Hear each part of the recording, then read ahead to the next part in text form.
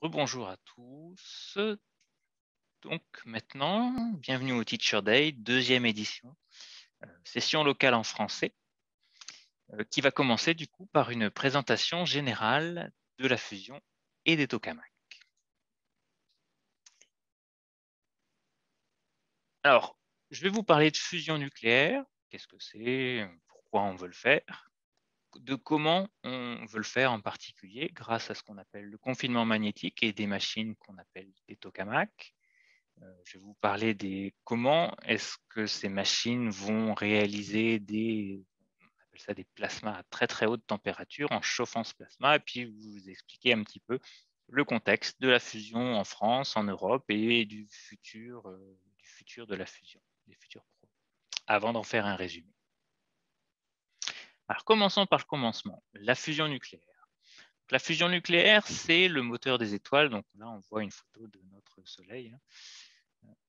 C'est euh, dans, le Soleil et dans toutes les étoiles de l'univers, euh, c'est la fusion nucléaire qui est le moteur des étoiles. Toutes les étoiles sont des grosses machines euh, à faire de la fusion nucléaire et à créer de nouveaux éléments.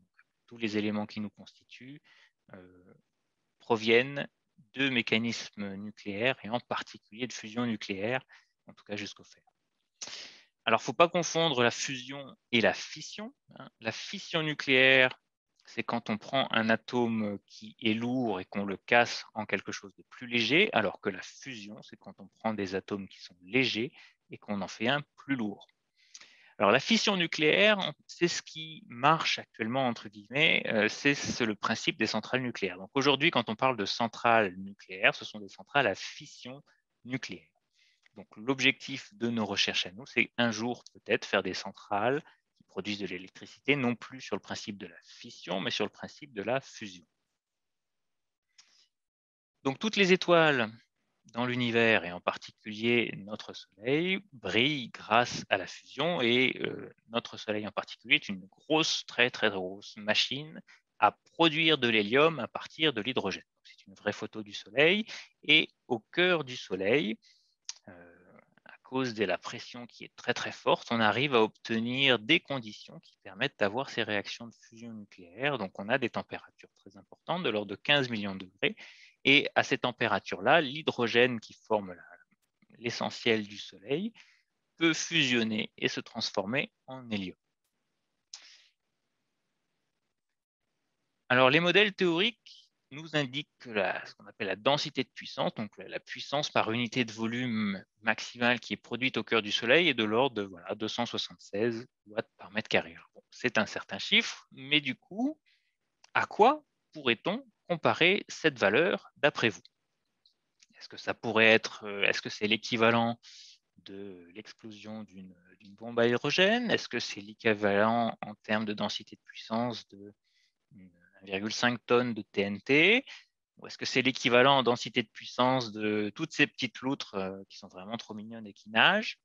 Ou est-ce que c'est l'équivalent en termes d'énergie d'un tas de compost Tout simplement un tas de compost? Alors, on va essayer de faire un sondage.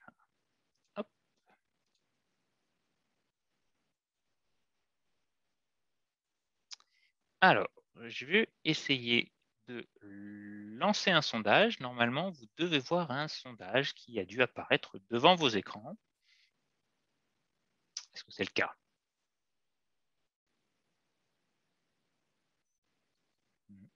Sans doute pas. Il est apparu de manière furtive. D'accord.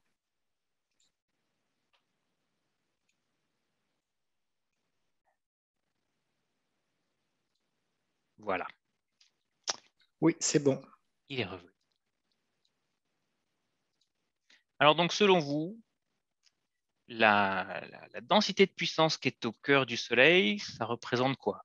Euh, Imaginons que j'ai des super pouvoirs, je puisse aller au cœur du Soleil, je prends un mètre cube de cœur du Soleil et je l'amène dans votre salon.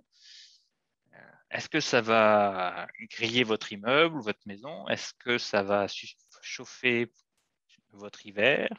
Ou est-ce que ça va rien faire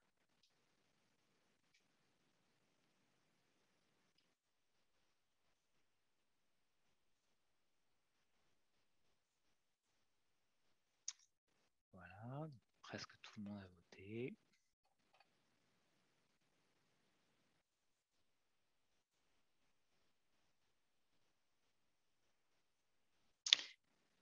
Donc, voici les résultats. Donc, à peu près tout le monde pense que c'est euh, une densité de puissance de l'ordre de l'explosion d'une bombe. H et puis euh, quelques autres réponses. Alors, quelle est la réponse? La réponse, c'est que ce n'est pas plus efficace qu'un tas de compost, ce qui peut paraître assez surprenant. Euh, mais oui, le Soleil est très, très inefficace dans sa manière de créer de l'énergie et c'est compensé par le fait qu'il est vraiment très, mais vraiment très, très, très grand. Donc, sur Terre, si on veut utiliser la fusion nucléaire pour produire de l'énergie, on ne peut pas, enfin, on n'a aucun intérêt d'essayer de reproduire ce qui se passe exactement à l'intérieur Soleil. On aura vraiment des performances qui seront ridicules, ça ne servirait à rien. Sauf évidemment dans les films où là, évidemment, tout est possible. Donc nous, ce qu'on cherche à faire, c'est qu'on cherche à utiliser des réactions de fusion nucléaire qui sont beaucoup plus efficaces de façon à pouvoir créer de l'énergie pour fabriquer de l'électricité. Donc, ce qu'on cherche à faire, ce qu'on cherche à viser, c'est d'utiliser la réaction de fusion entre le deutérium et le tritium c'est la réaction la plus facile entre guillemets à obtenir. Vous allez voir que ce n'est pas si facile que ça. Le deutérium et le tritium sont deux isotopes de l'hydrogène, donc ça veut dire que c'est un proton, et puis pour le deutérium, un neutron, et pour le tritium, deux neutrons. Pour arriver à obtenir cette fusion nucléaire qui va produire de l'hélium, qui n'est pas radioactif, hein, c'est de l'hélium qu'on peut bah, revendre pour euh, mettre en bouteille pour les anniversaires, et un neutron, il y a trois conditions qui sont nécessaires. Donc, il faut avoir une, faut porter le deutérium et le tritium à une température assez importante, puisqu'il faut la porter à 150 millions de degrés, ce qui est à peu près 10 fois la température qui est au cœur du Soleil. Au cœur du Soleil, on a plutôt 15 millions de degrés, donc nous, ce qu'on cherche à faire, c'est 10 fois mieux, 10 fois plus que ce qu'on a au cœur du Soleil. Après, il faut qu'on ait suffisamment de deutérium et de tritium par unité de volume, c'est la densité, euh, donc, on cherche à obtenir des densités de l'ordre de 10 puissance 20 euh, ions deutérium ou tritium par unité de volume, par mètre cube. Ça paraît beaucoup comme ça, comme chiffre, mais en réalité, pas tant que ça, puisque ça reviendrait à, c'est un million de fois plus faible que la densité atmosphérique, hein, donc l'air qu'on respire. Donc, ce qu'on cherche à faire, c'est on cherche à faire un gaz, à produire une sorte de gaz de deutérium tritium, mais à très très faible densité, donc très ténue. Ça a un avantage, ça, c'est que dans une future machine à fusion, bah, au final, il n'y a pas beaucoup de deutérium et de tritium à l'intérieur. À un instant T, il y a moins que 1 gramme de combustible de deutérium et de tritium dans un très grand volume. C'est un des avantages, on va voir. Et puis le troisième ingrédient, c'est ce qu'on appelle le temps de confinement de l'énergie. Alors le temps de confinement de l'énergie, c'est grosso modo comment est-ce qu'on va garder la chaleur de notre deutérium et tritium? L'idée, c'est que si on le chauffe, on ne veut pas que, la, comme à la maison, euh, si vous avez du simple vitrage ou du double vitrage, on n'a pas envie que l'énergie fuit de la maison. Donc, ce qu'on veut faire, c'est de limiter les pertes euh, énergétiques, les pertes thermiques du milieu deutérium-tritium qu'on va chauffer. Ça, on appelle ça le temps de confinement de l'énergie. on cherche à avoir un temps de confinement de l'énergie de l'ordre de la seconde ou de quelques secondes. Ça veut dire que si on arrête de chauffer notre deutérium et tritium, euh, il perd son énergie en quelques secondes. c'est ça que ça veut dire. Donc il faut à la fois avoir ces trois, euh, ces trois conditions qui sont nécessaires. Ensuite, comment est-ce qu'on produit de l'électricité avec la fusion? Ben, Actuellement, la grande majorité des centrales électriques utilisent des turbines. Donc à partir du vent, à partir de l'eau des lacs, ou le plus souvent, euh, parfois malheureusement, à partir de la combustion du charbon ou de gaz fossile.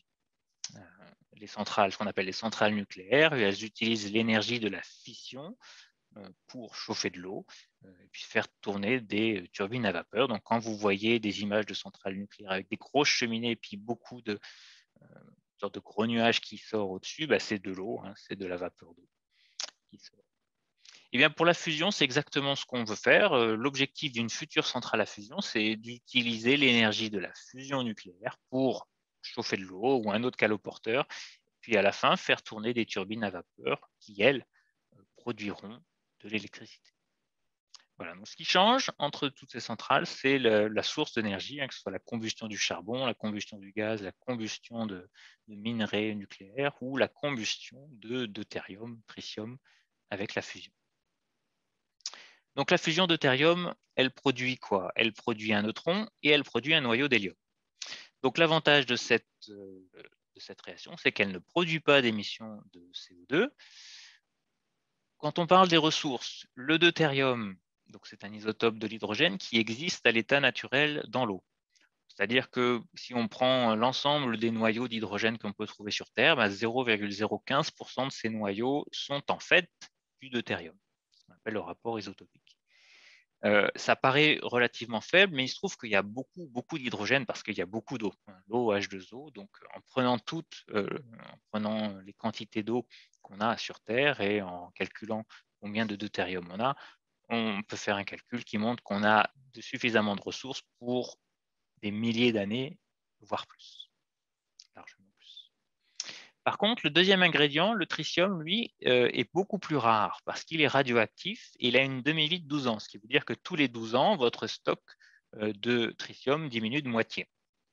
Ce qui fait que bah, du coup, à l'état naturel, euh, on en trouve très très très peu.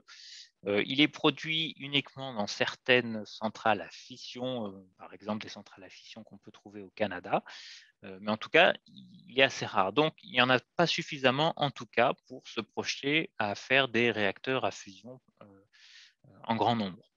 Donc, comment trouver ce tritium? Ben, L'idée, c'est de le produire grâce aux neutrons de la réaction. Parce qu'il existe une autre réaction de nucléaire qui, lorsqu'un neutron rencontre un atome de lithium, il va, euh, il manque quelque chose, il va produire du tritium et puis également un atome d'hélium. Donc l'idée, c'est d'être en boucle fermée, que le neutron qui soit produit par cette réaction de fusion impacte bah, des objets qui sont autour de ce fameux réacteur, qui contiennent du lithium, ça produit du tritium et on réinjecte ce tritium dans la boucle de façon à être autonome. Ça, c'est l'objectif. Euh, autre avantage potentiel de la fusion, c'est qu'on bah, a une empreinte géographique faible, hein, c'est-à-dire une empreinte euh, géographique ben, d'une centrale, une centrale relativement classique, euh, contrairement donc, au solaire ou à l'éolien où on a besoin de beaucoup plus de place.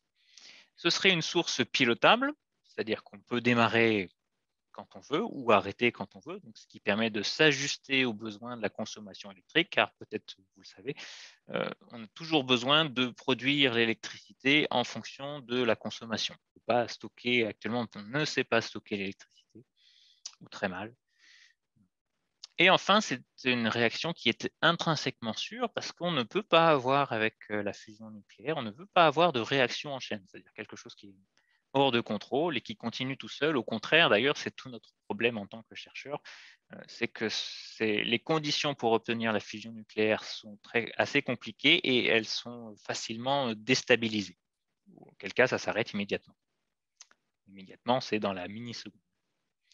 Et enfin, la réaction de fusion en elle-même ne produit pas de déchets radioactifs particulier pas de déchets radioactifs à vie longue à stocker. Par contre, évidemment, à cause du neutron qui va être produit par cette réaction de fusion nucléaire, le neutron va, impacter les matériaux qui sont autour de mon réacteur et il va les rendre radioactifs. Donc les matériaux autour, l'enceinte qui est autour d'un futur réacteur de fusion, lui sera radioactif seulement euh, en termes de, volume et surtout de, radioactivité. Ce sont des choses qui sont beaucoup plus faciles à gérer que euh, les actuels euh, déchets nucléaires qui sont produits par la fission.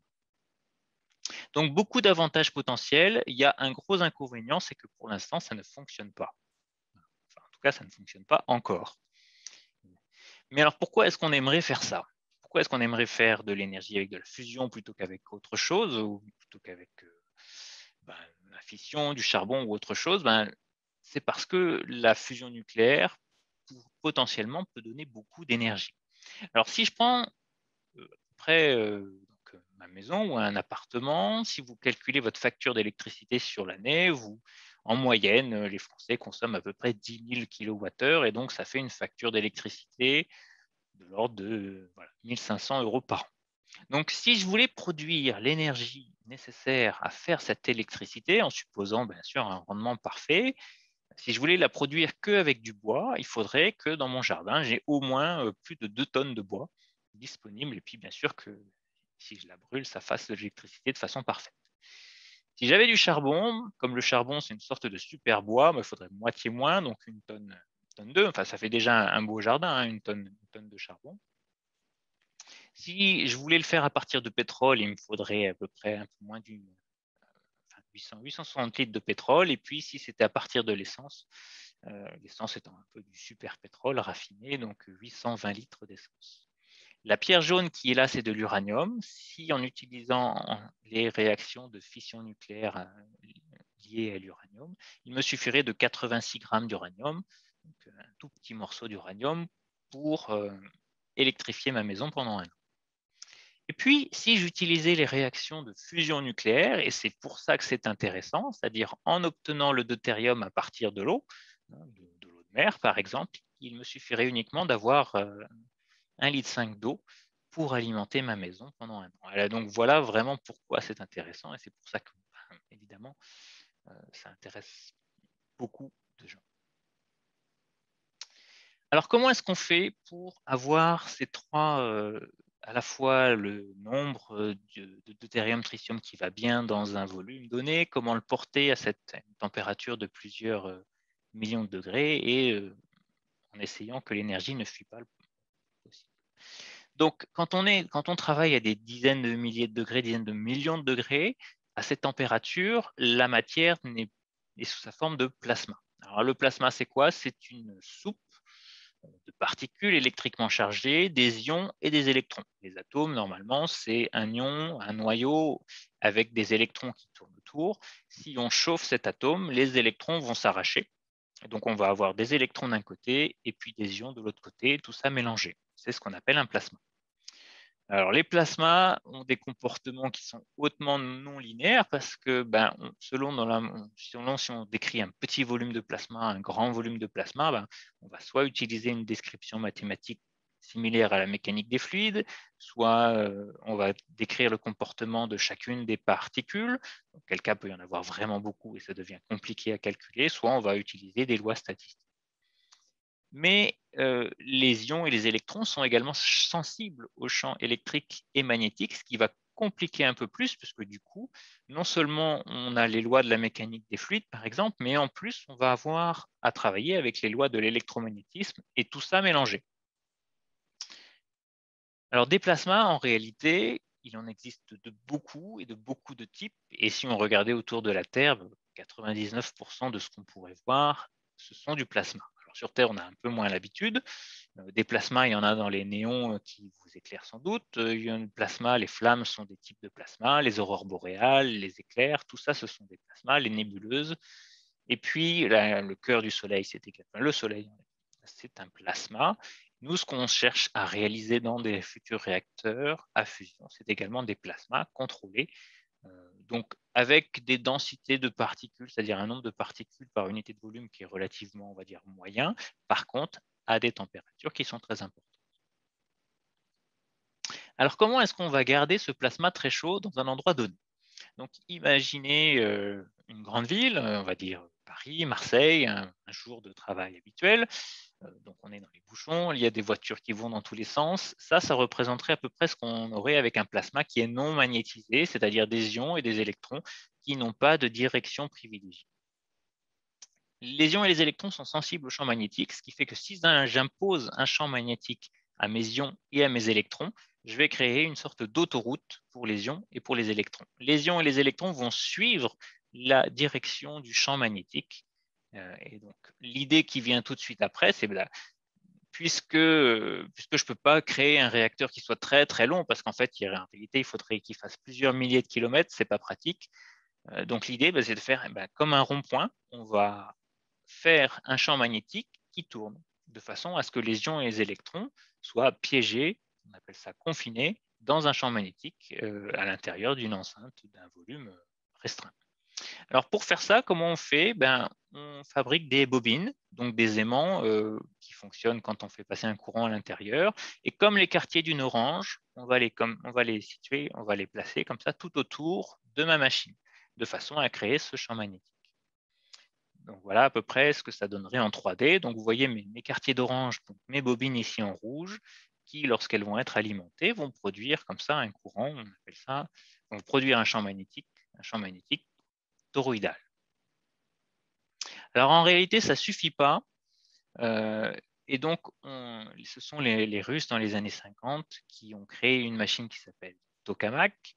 Euh, Tokamak, c'est un acronyme russe qui veut dire euh, ben, machine toroïdale qui produit un champ magnétique. Et donc, non seulement il faut ces fameuses bobines toroïdales pour créer ce champ comme ça circulaire, pour l'enfermer dans une boîte magnétique, mais ce n'est pas suffisant. Il faut rajouter à l'intérieur euh, du plasma qu'on va créer dans cette machine, il faut faire circuler un courant électrique.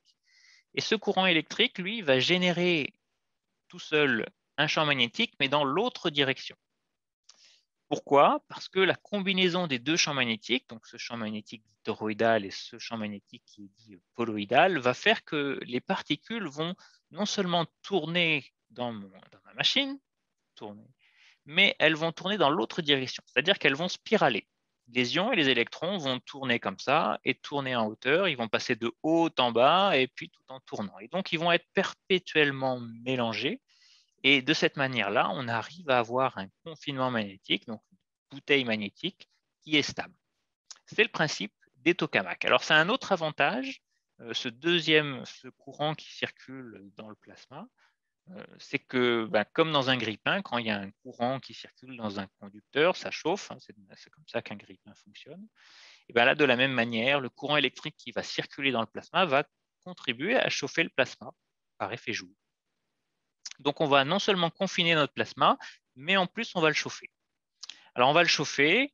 Euh, donc, voilà la schématisation d'un tokamak. Donc, on va avoir donc, des lignes de champ magnétique qui ne sont plus seulement comme ça horizontales, mais qui vont spiraler. Euh, en forme d'hélice, comme, si on vissait quelque chose. Donc, on passait de haut en bas tout en tournant. Donc, euh, ça va contribuer à chauffer le plasma, mais il se trouve que, pas de chance, la résistivité du plasma diminue à mesure, à mesure que la température augmente. Alors, ça veut dire quoi? Ça veut dire que plus on chauffe le plasma, euh, moins efficacement on va le chauffer en faisant passer un courant à l'intérieur. Et donc, à un moment donné, il y a une sorte d'équilibre qui est arrivé et donc, on ne peut chauffer les plasmas en faisant passer un courant à l'intérieur qu'à une température de l'ordre de 1 million de degrés. C'est pas mal, mais ce n'est pas suffisant par rapport à ce qu'on souhaite obtenir, parce qu'on souhaite obtenir plutôt 150 millions de degrés, donc 100, 100 fois plus. Donc, ça veut dire qu'il faut trouver un moyen de chauffage additionnel, donc un système supplémentaire qui va chauffer le plasma. Deuxièmement, deuxième point, deux autres limitations des tokamaks, c'est que le courant qu'on génère dans le plasma, on n'est pas capable, il est généré par induction, et les lois de l'électromagnétisme sont ce qu'elles sont. On ne peut pas générer ce courant constant euh, sur des temps indéfiniment longs parce que ça dépend de la capacité d'énergie magnétique qu'on a pour générer ce courant. Donc, euh, ben, ce courant ne peut pas varier indéfiniment et donc en conséquence, le temps, de le temps de décharge, donc la durée pendant laquelle on peut faire ce plasma, est forcément limité. limité en gros par la taille euh, de la machine. Donc, ça veut dire qu'il faut également un moyen de générer ce courant dans mon plasma pour que le plasma soit stable. Donc, il faut ce, ce qu'on appelle un moyen de génération de courant. Donc, on a besoin de deux systèmes pour un futur euh, réacteur fusion, on a besoin donc des systèmes de chauffage du plasma et un système de génération de. Alors, comment est-ce qu'on fait ça? Comment est-ce qu'on chauffe euh, le plasma au-delà de 1 million de degrés? Il y a deux types de méthodes qui sont principalement utilisées sur les installations actuelles. L'injection de faisceaux de particules neutres, euh, c'est-à-dire qu'on va envoyer dans le plasma des particules avec une très grande énergie et puis, la collision de ces particules avec le plasma va transférer bah, l'énergie cinétique de ces particules neutres aux particules ionisées du plasma, les ions et les électrons. Et ça, ça va augmenter la température de mes ions et de mes électrons. C'est une première méthode. L'autre méthode, c'est comme à la maison, d'utiliser des ondes électromagnétiques, comme avec votre micro-ondes, au lieu de réchauffer le thé ou les pâtes. Là, du coup, on va chauffer un plasma. On va envoyer des ondes électromagnétiques à l'intérieur de notre plasma à forte puissance, et puis selon les particularités de ces ondes électromagnétiques, elles vont aller soit chauffer les ions, soit aller chauffer les électrons, soit un peu des deux. elles vont transférer leur énergie aux particules du plasma. Alors, on utilise différentes gammes de fréquences. Hein. Euh, j'ai mis ici les différentes gammes de fréquences qu'on peut utiliser, puis à quoi ça correspond dans la réalité. Donc, pour chauffer plutôt les ions du plasma, on va utiliser des fréquences qui sont dans l'ordre de la dizaine de mégahertz, qui, étaient les fréquences de la radiodiffusion, donc des, des grandes ondes. Pour chauffer, pour générer du courant dans mon plasma, on peut aussi utiliser des micro-ondes notamment des micro-ondes aux fréquences de l'ordre du gigahertz. Hein, ce sont les mêmes fréquences que ce qu'on utilise pour les téléphones portables ou, les fours micro-ondes, mais là à des puissances qui sont beaucoup, beaucoup plus importantes. Et puis, si on veut vraiment chauffer uniquement les électrons, ben, il faut encore monter en fréquence, parce que la masse des électrons étant plus faible, on a besoin d'avoir une fréquence qui est plus importante. Euh, donc autour de 100, au-delà de la centaine de gigahertz, donc qui sont les fréquences qu'on utilise euh, pour les communications terre-espace ou en radioastronomie, mais là encore avec beaucoup, beaucoup plus de puissance. Alors, quand on dit beaucoup plus de puissance, c'est combien? Donc, mon unité de mesure, ça va être le watt, le, mégawatt, le kilowatt, le mégawatt, mais pour que ça parle plus, euh, un micro-ondes à la maison, si vous réglez le, bouton pour la puissance, vous voyez que vous pouvez aller grosso modo jusqu'à 1000 watts en général. On va arrondir à 1000 watts, c'est plus simple. Et donc, 1 mégawatt, c'est 1 million de watts. Donc, ça correspond à 1000 micro Donc, dans les expériences actuelles, c'est-à-dire dans toutes les expériences, il y a un certain nombre d'expériences dans le monde, on verra après, euh, on obtient et on maintient des plasmas avec des températures proches de celles qui sont nécessaires pour la fusion nucléaire et celles qu'on aura dans une future machine qui s'appelle ITER, de l'ordre de 40 mégawatts donc, euh, on peut injecter jusqu'à 40 MW de puissance à l'intérieur du plasma pour augmenter sa température. Ça, ce sont des choses que l'on fait déjà. je vous laisse calculer le nombre de micro-ondes équivalents. Dans ITER, qui est la prochaine grosse, euh, expérimentation en fusion que je vais vous présenter tout à l'heure, on va augmenter encore la puissance qu'on va injecter dans ce plasma, donc avec 73 MW, voire même jusqu'à 110 MW dans le futur, avec différents systèmes, l'injection de particules neutres, 33 MW, le chauffage des ions, donc à 50 MHz autour de 20 MW, le chauffage des électrons à 170 GHz, là encore autour de 20 MW. Mais on sait que pour un futur réacteur à fusion nucléaire, il faudra sans doute plus d'énergie, plus de puissance encore, notamment pour qu'il puisse fonctionner en continu, parce que c'est quand même un jour ce qu'on veut faire. Hein générer de la fusion 7 jours sur 7, 24 heures sur 24. Donc il faudra encore un peu plus de puissance.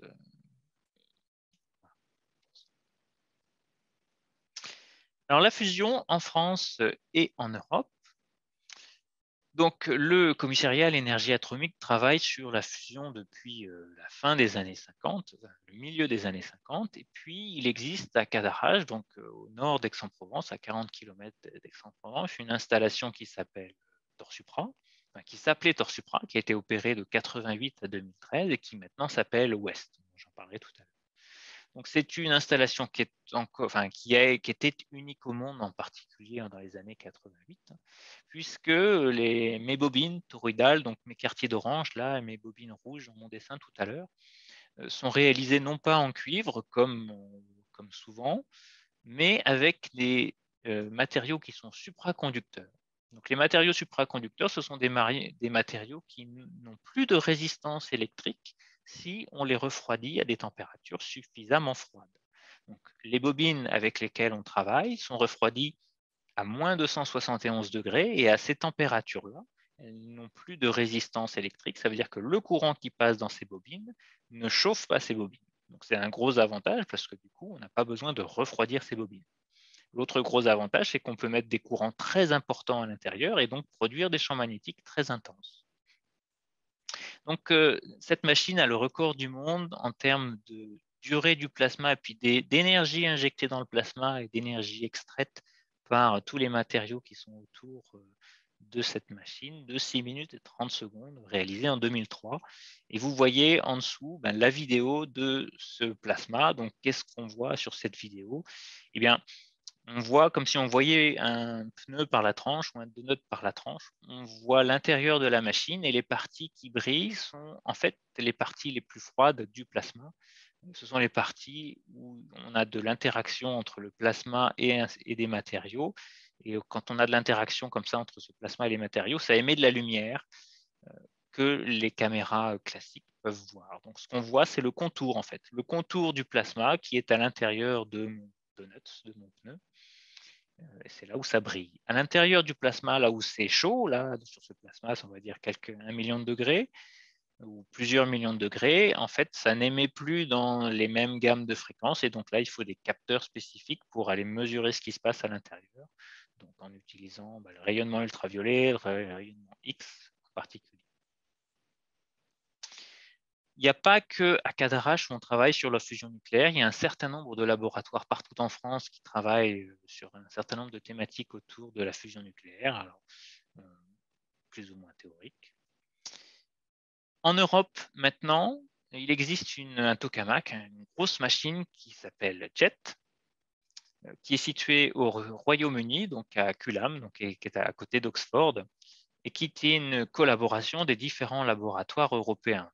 Machine qui a été créée également dans les années 80, qui a démarré en 83, et qui dispose et dispose encore, enfin qui a obtenu le record du monde en 97 de la puissance fusion. C'est-à-dire que dans cette machine-là, on a vraiment injecté du deutérium et du tritium, on a vraiment obtenu des réactions de fusion nucléaire, et de cette manière-là, on a réussi à obtenir 16 MW de puissance fusion pendant moins d'une seconde, et pour 24 MW injectés. Ça veut dire qu'on a quand même injecté plus de puissance dans le plasma qu'on en a obtenu au bord du plasma là, je ne parle pas de rendement électrique, hein, parce que pour faire cette expérience-là, il fallait, si on prend toute la puissance électrique nécessaire, il fallait jusqu'à 700, 800 MW de puissance électrique pour obtenir ces 16 MW de puissance fusion. Vous voyez que pour l'instant, ben, on consomme plus d'électricité qu'on est capable d'en récupérer pour l'instant.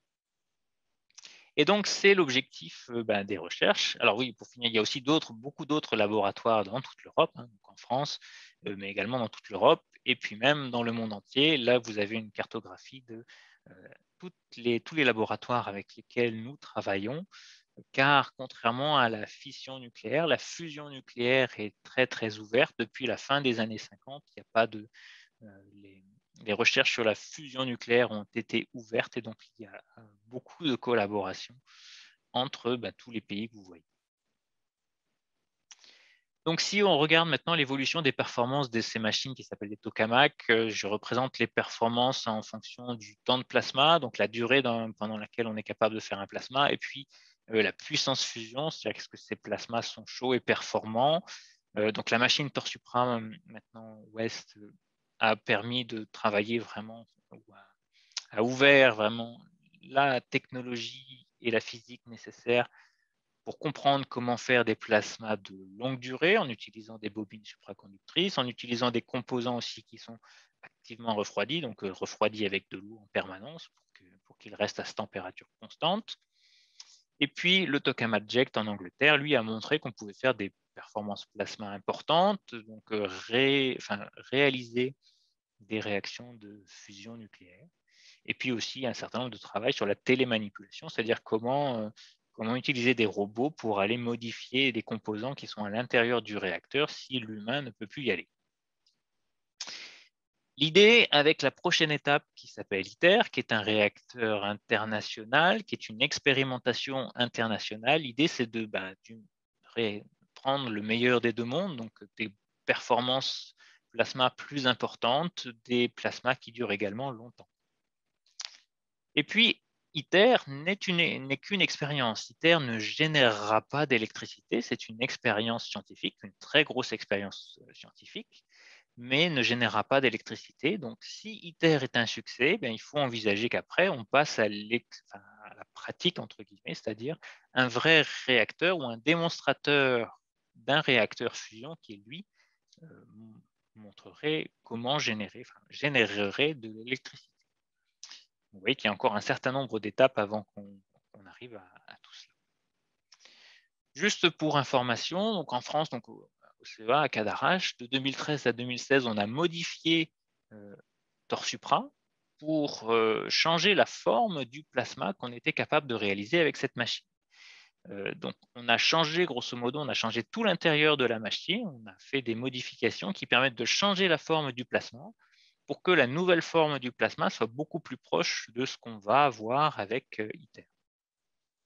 De cette manière-là, on fait des recherches qui permettent du coup de, faire avancer la science et en particulier, en particulier ITER, avant qu'ITER démarre, d'apprendre le plus de choses possible.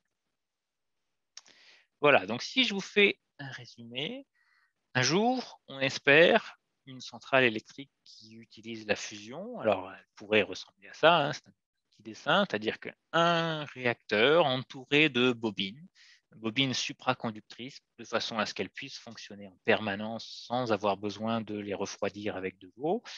Euh, donc, ce sont des bobines qui, pour qu'elles soient supraconductrices, il faut les porter à très basse température, donc typiquement moins de 170 degrés, peut-être dans le futur euh, à des températures un peu moins basses.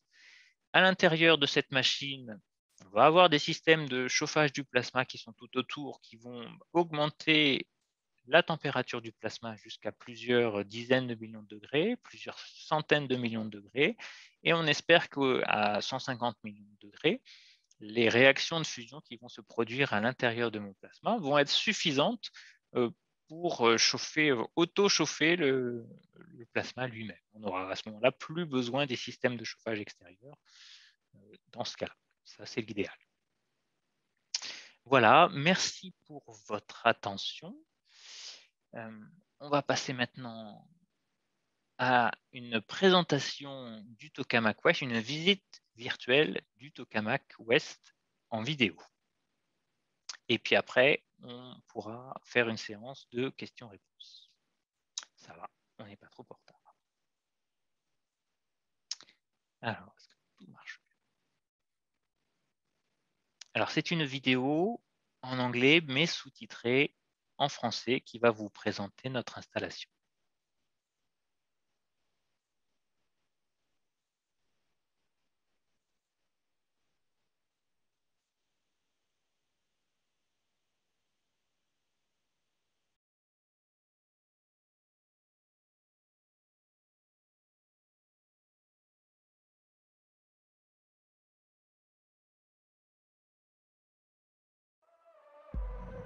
Welcome in IRFM, Research Institute for Magnetic Fusion. Located at Cadarache, close to ITER, this institute gathers around 300 people. Jérôme Bucalossi is welcoming you and tells you the story of WEST, which is an evolution of the tokamak Torsupra. Torsupra was the first large superconducting tokamak, and it pioneered long pulse operation since the end of the 90s. And since that time, there have been permanent evolution on the machine, and very recently, there have been a very large transformation with the WEST project. So the transformation was twofold. First, to introduce the X-point configuration into the machine by putting additional coils inside the vessel, top and down, in order to have the X-point configuration. And the second transformation was to go from carbon configuration to full tungsten configuration, meaning all these components which are facing the plasma are all covered by tungsten. And all these transformations were there to prepare uh, ITER operation and ITER era.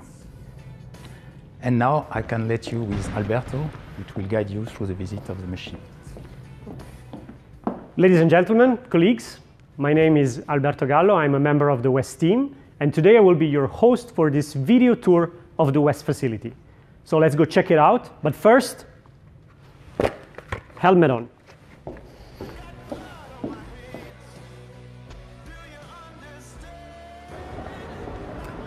So our tour starts here, in front of what we call the small door. Although, as you can see, it is not so small. It is a 1.5 meter thick um, boron-enriched concrete door that protects all the scientists in the control room from the possible neutron and gamma ray emissions during the plasma discharges.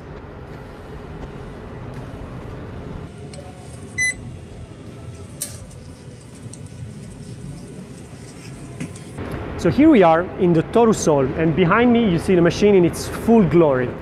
West has a 2.5 meter major radius, which makes it the third biggest operational tokamak in the community right now after JT60, SA, and JET. And the overall height of the machine is about 10 meters with a 20 meters diameter. West is equipped with 18 superconducting toroidal field coils. And when the machine started operations in the 80s, it was the first tokamak to ever sport such a technology. Superconducting magnets allow for steady state operation, and the machine holds the record for the longest tokamak plasma discharge with 6.5 minutes. Here we are standing in front of one West superconducting coil. 18 of them are installed in the tokamak and together they form the 160 ton, 3 meter high and 7.5 meter wide toroidal field magnet. Free of Joule heating, it can generate a 4.5 Tesla steady state magnetic field on the plasma axis. A performance that cannot be achieved with conventional copper magnets, although essential for long plasma discharges. During West experimental campaigns, this magnet is ramped to 1250 amps every morning and maintained there until evening. It has been proudly serving its duty since 1988, surviving several thousands of plasma shots, several hundreds of fast discharges, and even two quenches in 1989 and 2017. This history testifies to the robustness of its innovative design at the time, which is still reliable more than 30 years later. Its coils are wound in 2028 turns from a single composite strand made of an niobium titanium superconducting alloy and of copper. They are immersed in a 1.8 Kelvin liquid helium bath, temperature at which the heliums become superfluid. This physical state offers a large stability against local thermal disturbances that could trigger a quench in the magnet. This technology relies on the, on the which has also been used later at CERN for its Large Hadron Collider particle accelerator. It differs from the one used in more recently designed tokamaks such as JT60SA or ITER, which features the use of cable and conduit conductors with an internal flow of supercritical helium. But in order to operate a superconducting machine, you need to keep it very, very cool. And for this reason, we have three big cryostatic satellites like this one, each of which are feeding helium into six of the toroidal field coils. So here it is the place where the cryogenic team operates the West cryogenic system. The cryogenic system cools down the 120 tons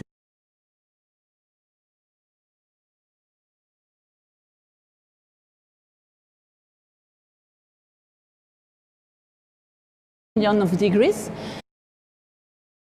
Next to me, you see these yellow tubes. kilograms. On the other hand, we use In a 1.8 liter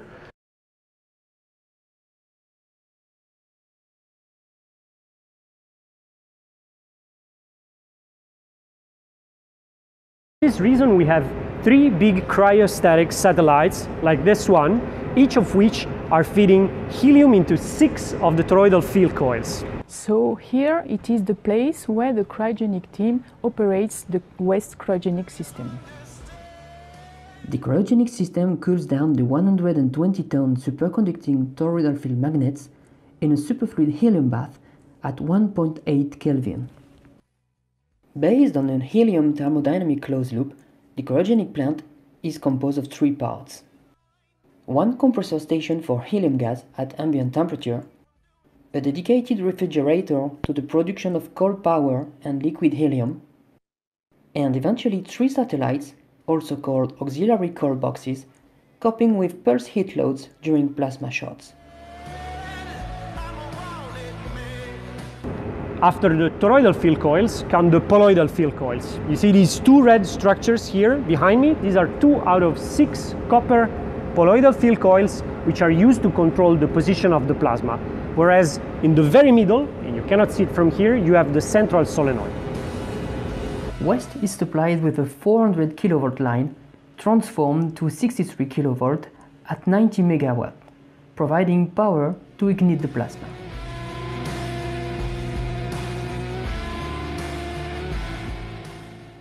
Nine other transformers lower the voltage to supply six poloidal coils. These power supplies, composed of thyristor bridges, were made back in the 80s and are still up and running. Each one supplies one of the six poloidal coils at almost 50 kiloamps. Eight additional generators can deliver between 3 to 7 kiloamps in continuous operation. Two additional divertor coils power supplies were installed for the WEST project. They provide 20 additional kilograms to supply power to the new divertor coils in order to change the plasma configuration from circular to diverted shape.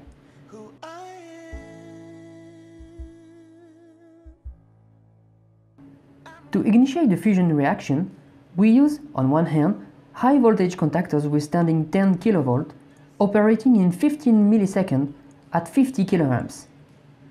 On another hand, we use high voltage 10 times faster to shoot in less than 2 milliseconds. Together, they create instantaneous voltage variation in the central solenoid, essential for igniting the plasma.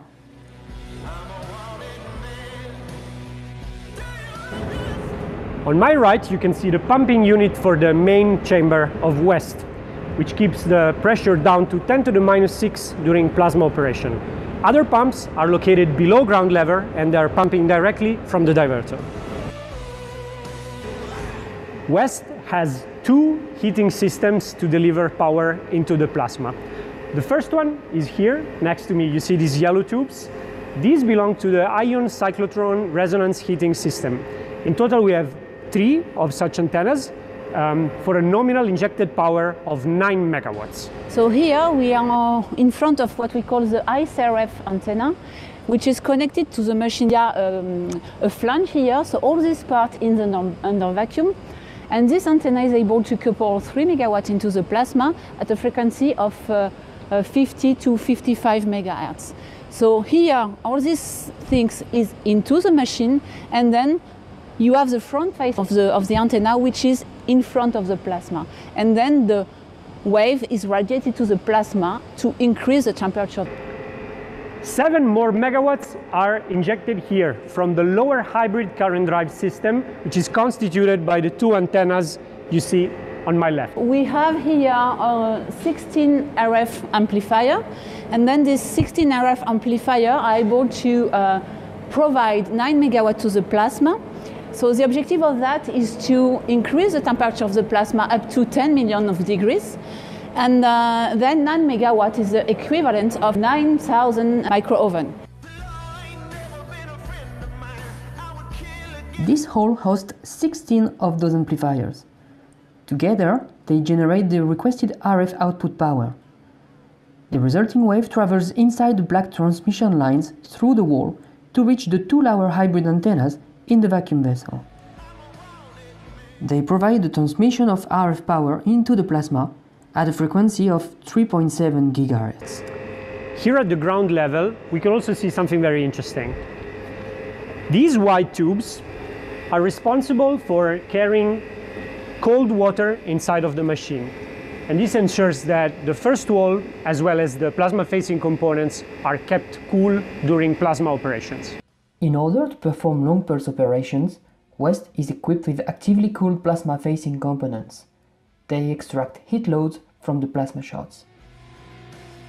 The West water cooling system is composed of seven primary loops and one secondary loop.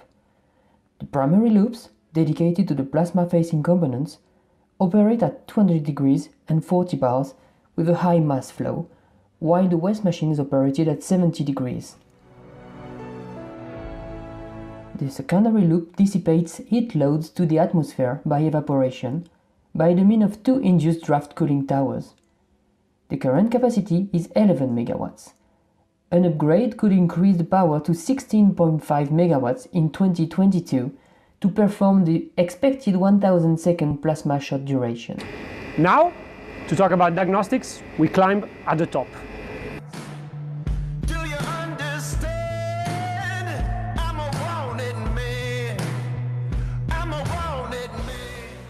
West has a number of diagnostics which are basically our eyes inside of the machine. Some of them are to measure the plasma parameters like uh, plasma temperature and density. You see as an example here this big shaft. This is the reciprocating Langmuir probe. Another kind of diagnostic can be seen here on the right. For example, you have some spectrometers. These are responsible for measuring the impurity content inside of the plasma. A third very important kind of diagnostic is the one for the monitoring of the plasma facing components. And this is made through a complex set of infrared cameras. Here in uh, RFM we have uh, the thermography infrared laboratory and because infrared diagnostic is a very important diagnostic to actually monitor what is the temperature inside the tokamak. So the infrared diagnostic is used to monitor the temperature inside the tokamak to, for physical studies and to ensure the security of all the material inside. So here you have a mock-up scale on scale of the machine and we actually measure the temperature with an endoscope that is uh, composed of optical lines that brings the photons in a camera. So we can see inside the tokamak in real time. Those are handmade camera and uh, we have 14 of those on West to actually get a lot of line of sight to ensure a complete coverage of uh, the machine. So here on this mock-up you can see there is the divertor and the heating antenna. But we also have on West a wide angle view that gives a broader look at what's inside the machine. And last but not least, for physical studies, we have the very high resolution view that allows us to monitor what's on a, place, a plasma facing component during operation with a 0.1 millimeter per pixel resolution. And uh, these, this diagnostic, this view, and all the view of the infrared diagnostic allowed us to conduct successfully an experiment in the late 2020, the controlled melting of actively cooled plasma facing component in tungsten.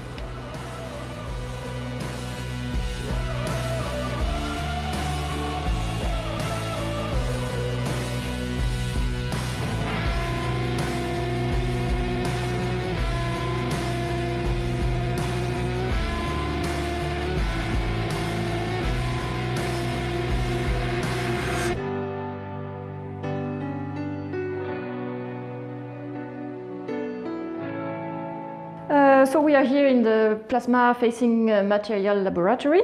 This is where we receive all the components that will be installed in the West uh, vacuum vessel.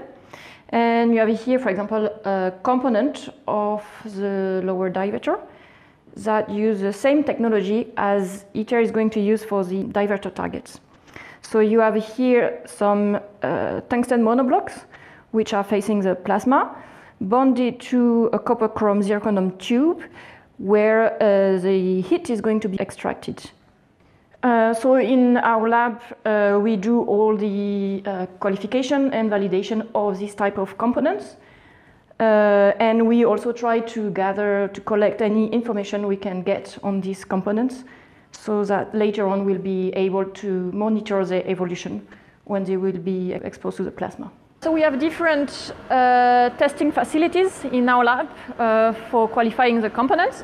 And you have one of the most important one is uh, the test facility that you can see next to me is a high heat flux test facility and is the only one of this type in, in France.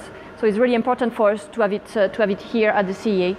And in uh, that facility, we can subject a component to uh, high heat fluxes similar to what we will find in West. So typically we can uh, apply up to 10 or 20 megawatt per square meter through the electron beam gun that is uh, in the other room. And uh, we monitor the component and we make sure that it can extract the heat as it should be in the vacuum vessel. So we can test any components for West or any prototypes that we developed through collaborations. Here is the view of the infrared camera inside the vacuum chamber and we are actually uh, loading different components at uh, 10 megawatt per square meters. We are uh, cycling about like 100 cycles and what you can see here is the surface temperature of the tungsten monoblocks. And this uh, information is really important for us because it gives us uh, information about the bonding quality between the tungsten and the, and the copper.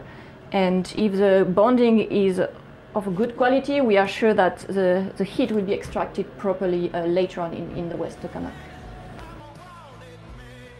So another testing facility that we have here at the CA is, uh, is this one, which we called uh, SATIR.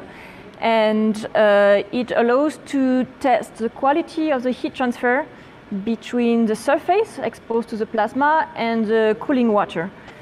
And uh, it's a non-destructive technique, which is uh, uh, really good for us because we don't damage the component. And it's really easy to process and to, to set up. And it also has the advantage of treating the component entirely uh, as it will be in, uh, in the West Tokamak. So we are here in the assembly hall where we are installing the components onto the, the sector. So in the West Tokamak we have 12 sectors and you can see here one sector. Uh, so we are installing the components on a specific uh, position depending on the plasma pat pattern. And we are also uh, controlling the relative misalignment between each component. And uh, we, the later stage is to weld the component to the cooling system. And when everything will be done, we'll move each of the 12 sectors inside the vacuum vessel. So later on, we'll have like a full divertor made of tungsten monoblocks using the ITER technology. And now we conclude our tour of the West facility with a visit of the control room. Follow me.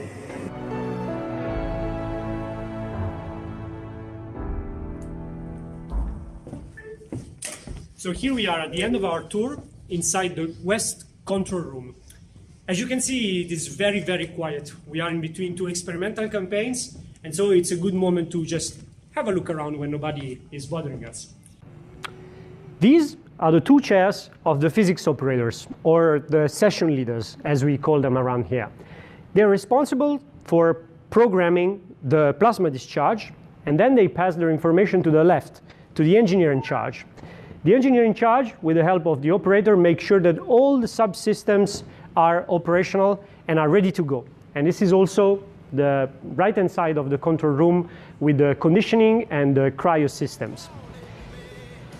On this side, we have the data acquisition and processing desk, and right next to it, all the desks for the heating systems, so the ICRH and the lower hybrid current drive. This is also a very important table because we have the machine protection diagnostics, so all the infrared cameras taking care of our PFCs. On my right then, we have all the posts for all the physicists and the other diagnosticians, as well as our guests that might be joining us during experimental campaign. And the very last desk is the one for the scientific coordinators. And these are the two people in charge for a given experiment to decide scientific goals and inform the physics operator of which kind of plasma discharges they want, which closes the loop. So at the end of the tour, I now leave you with the, the head of the scientific program, Emmanuel Citron. Thank you. So in the first phase of uh, waste operation, uh, we started developing our plasma scenario and uh, we performed uh, the first test of the ITER prototypes in a tokamak environment. And in order to do this, uh, we really had to uh, learn how to operate a new machine uh, because we changed uh, the magnetic configuration from limiter to diverter, uh, which is the configuration of ITER. And we also changed uh, the material from the vessel walls from carbon to tungsten.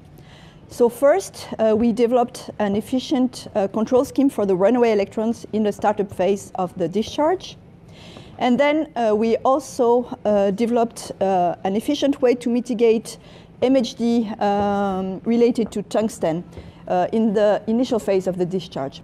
Then we were able to couple up to 9 megawatt of uh, combined ICRH and LH power to the plasma. And we observed uh, the first transitions to an improved confinement, which is the so-called edge mode, which is the reference regime for ITER. We were also able to run uh, discharges up to one minute duration, a duration which is significantly higher than what the non-superconducting tokamaks can do. So this is very promising as a basis to go to even longer discharges for the second phase of waste operation. So during this first phase of operation, uh, we also exposed uh, ITER diverter prototypes, and they were provided by uh, all the suppliers which are foreseen for ITER, the Japanese domestic agency and the European uh, domestic agency. Uh, some of them were also provided by our Chinese colleagues.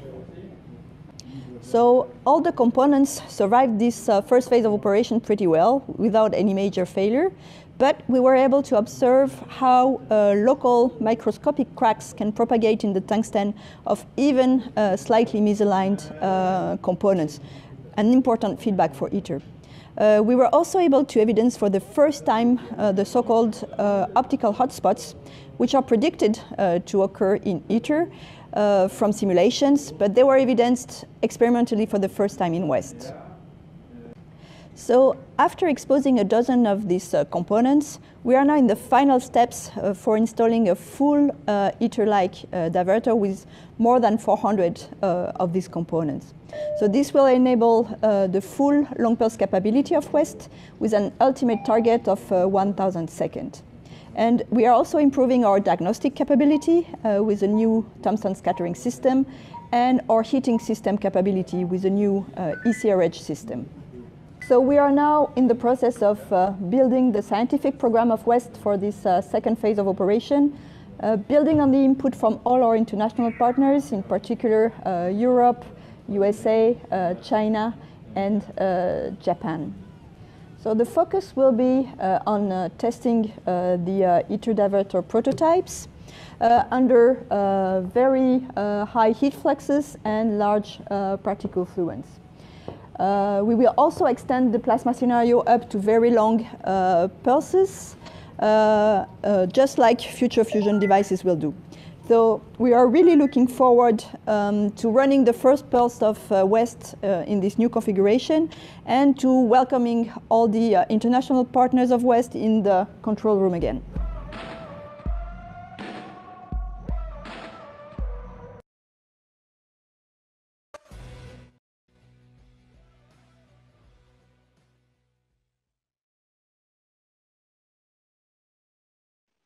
Désolé pour le, petit accro tout à l'heure.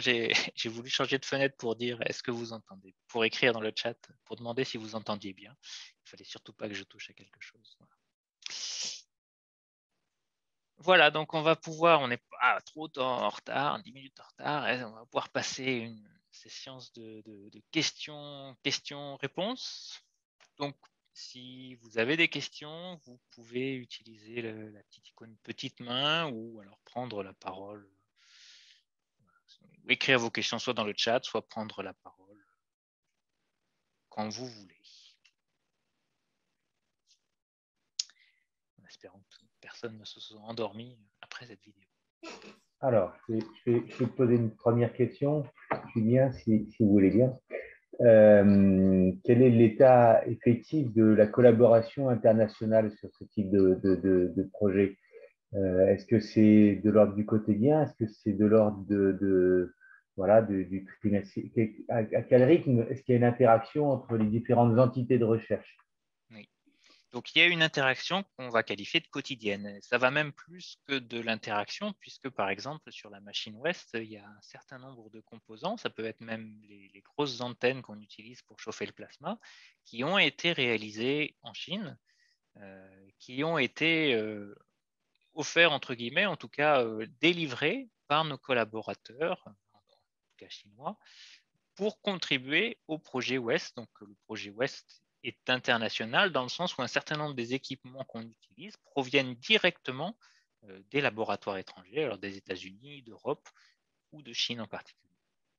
Alors non seulement il y a un échange de matériel, donation de matériel, mais en plus évidemment on accueille après euh, les, collaborateurs étrangers. C'est pour ça que la vidéo d'ailleurs était en anglais, c'est parce que euh, en pratique, euh, on, travaille, on va dire, quasi quotidiennement en anglais.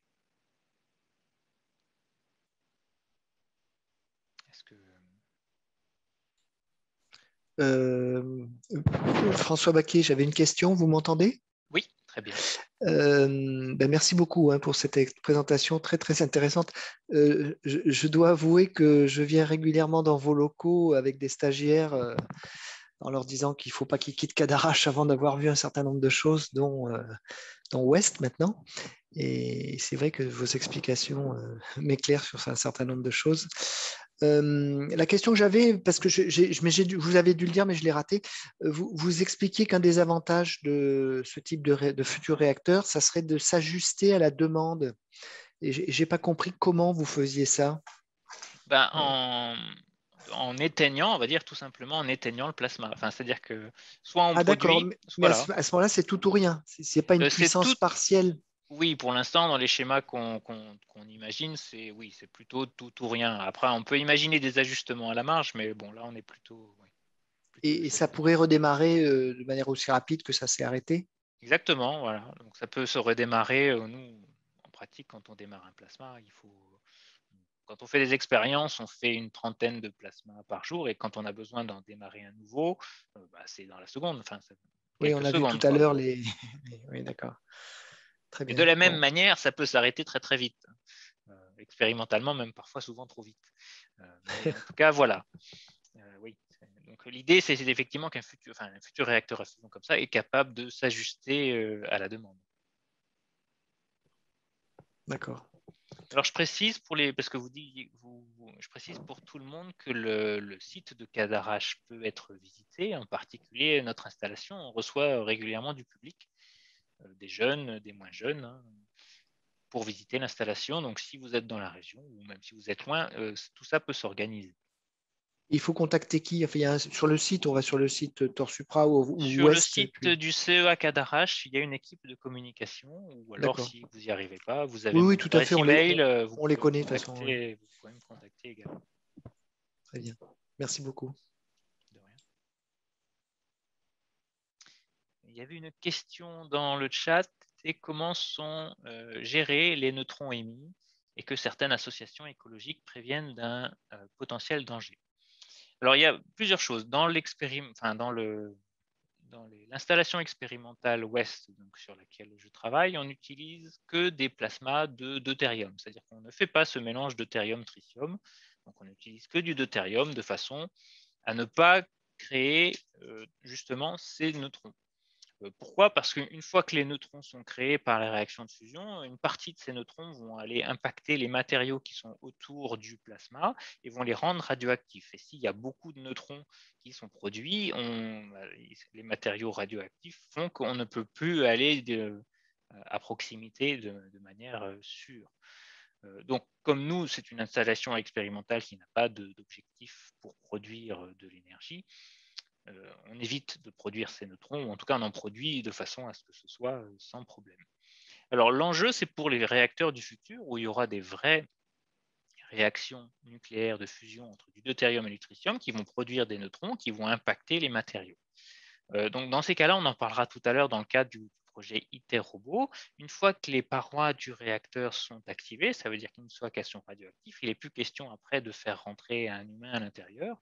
Donc toutes les opérations qui sont réalisées à l'intérieur de la machine devront être faites grâce à des moyens de robotique, robotique téléopérée. Alors, ce n'est pas, euh, c'est pas complètement de la science-fiction parce que l'installation JET qui se trouve en Angleterre a déjà ses moyens de téléopération et euh, on sait déjà, on a déjà montré qu'on savait enlever, euh, on savait déshabiller et réhabiller tout l'intérieur d'une machine grâce aux moyens de, ces téléopérations-là. Alors, un potentiel danger, il n'y a pas vraiment dans le sens où en fait la radioactivité, elle, est uniquement liée aux matériaux de première paroi. Donc, euh, elle ne va pas bouger toute seule, les matériaux ne vont pas s'en aller tout de suite. Euh, ce qui fait qu'un réacteur fusion, une fois qu'il ne sera plus utilisé, ben, les parois seront radioactifs et devront être traités comme tels, comme des déchets radioactifs. Euh, mais en tout cas, ça produit des déchets qui ne sont pas des déchets qui sont à vie très long, pas des déchets qu'on ait besoin d'enterrer pour des millions d'années en tout cas. Là, on parle de déchets qui sont gérables sur une cinquantaine d'années, centaine d'années, donc des, des, échelles de temps qui sont beaucoup beaucoup plus faciles en termes en termes de traitement. Voilà, je ne sais pas si c'était si c'était si j'ai répondu à votre question. Euh, j'ai une question. Oui. Euh, alors, je suis néophyte dans le, dans le domaine, mais euh, à un moment, vous parliez que euh, pour initier le plasma, on arrivait à, euh, on faisait passer un courant électrique, on arrivait à un million de degrés. Euh, pourquoi ne pas s'arrêter à ce million de degrés-là et pourquoi euh, aller jusqu'à 150 millions de degrés en fait? Quel est l'intérêt? Euh, ben, en fait, l'intérêt, c'est qu'on n'a pas vraiment le choix. Là, c'est que la physique est contre nous. Il se trouve que donc, le, plasma, en fait, ce sont des ions et des électrons qui, sont conducteurs d'électricité. hein. C'est comme un bon conducteur. On peut dire qu'il a la conductivité électrique, on va dire similaire à celle du cuivre, du même ordre de grandeur en tout cas.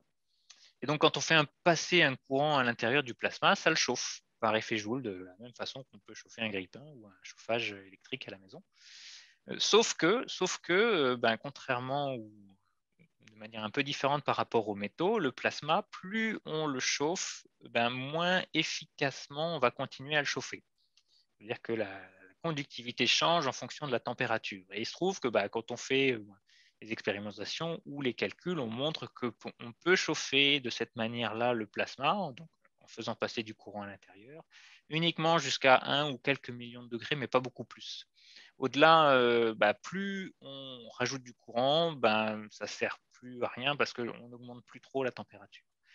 Donc notre objectif à nous, c'est d'aller à 150 millions de degrés, donc euh, 100 fois plus qu'un million de degrés, ce qui nécessite du coup des systèmes de chauffage additionnels du plasma. On est, ob- on est obligé en fait, hein. c'est pas, c'est pas de notre, pas de notre fait, c'est la, physique. Et- pourquoi on ne peut pas rester à un million de degrés, c'est ça? Enfin, pourquoi Le on plasma, il peut tiendrait pas à un rester, ah si si, on peut rester, mais à un million de degrés, statistiquement, on ne crée pas assez de réactions de fusion nucléaire pour que ça devienne intéressant. C'est-à-dire que pour que on produise suffisamment d'énergie par les réactions de fusion nucléaire, il faut que la température du milieu soit plutôt à 100, 100 entre 100 et 200 millions de degrés. À un million de degrés, c'est pas suffisant. Euh, on on produirait pas assez d'énergie, donc ça servirait, servirait à rien. D'accord. Parce que c'est un peu, euh, c'est un peu paradoxal dans le sens où si le but c'est de faire tourner une turbine, donc euh, créer de la vapeur, euh, un million de degrés, c'est largement suffisant pour. euh, C'est largement du hein, mais alors ce, mi- ce million de degrés, c'est vraiment c'est à l'intérieur du plasma. D'accord? C'est vraiment au centre du plasma. Et un peu comme le Soleil, plus on va s'éloigner du plasma, plus il va être froid. Donc la question est après comment récupérer cette chaleur, cette énergie? Euh, et donc pour la récupérer, il y a, le seul moyen, il y a, il y a deux moyens, c'est de récupérer euh, à certains endroits la chaleur du plasma qui vient toucher les matériaux, mais ça, c'est pas forcément là où on va récupérer le plus d'énergie. Là où on va récupérer le plus d'énergie, c'est grâce à ces neutrons, ces fameux neutrons qui sortent des réactions de fusion. Ils vont aller impacter euh, les matériaux, mais derrière les matériaux, il y a de l'eau. Et les neutrons s'absorbent très bien avec l'eau, et donc un neutron qui impacte l'eau va chauffer l'eau. Et c'est comme ça qu'on va obtenir de l'eau chaude. 80% de la puissance de la fusion nucléaire sera, on imagine, récupérée de cette façon-là à travers les neutrons. Et pour qu'il y ait suffisamment de neutrons, il faut qu'il y ait suffisamment de réactions de fusion. Et donc, on revient au problème de la température. D'accord. Ok. Très bien, merci.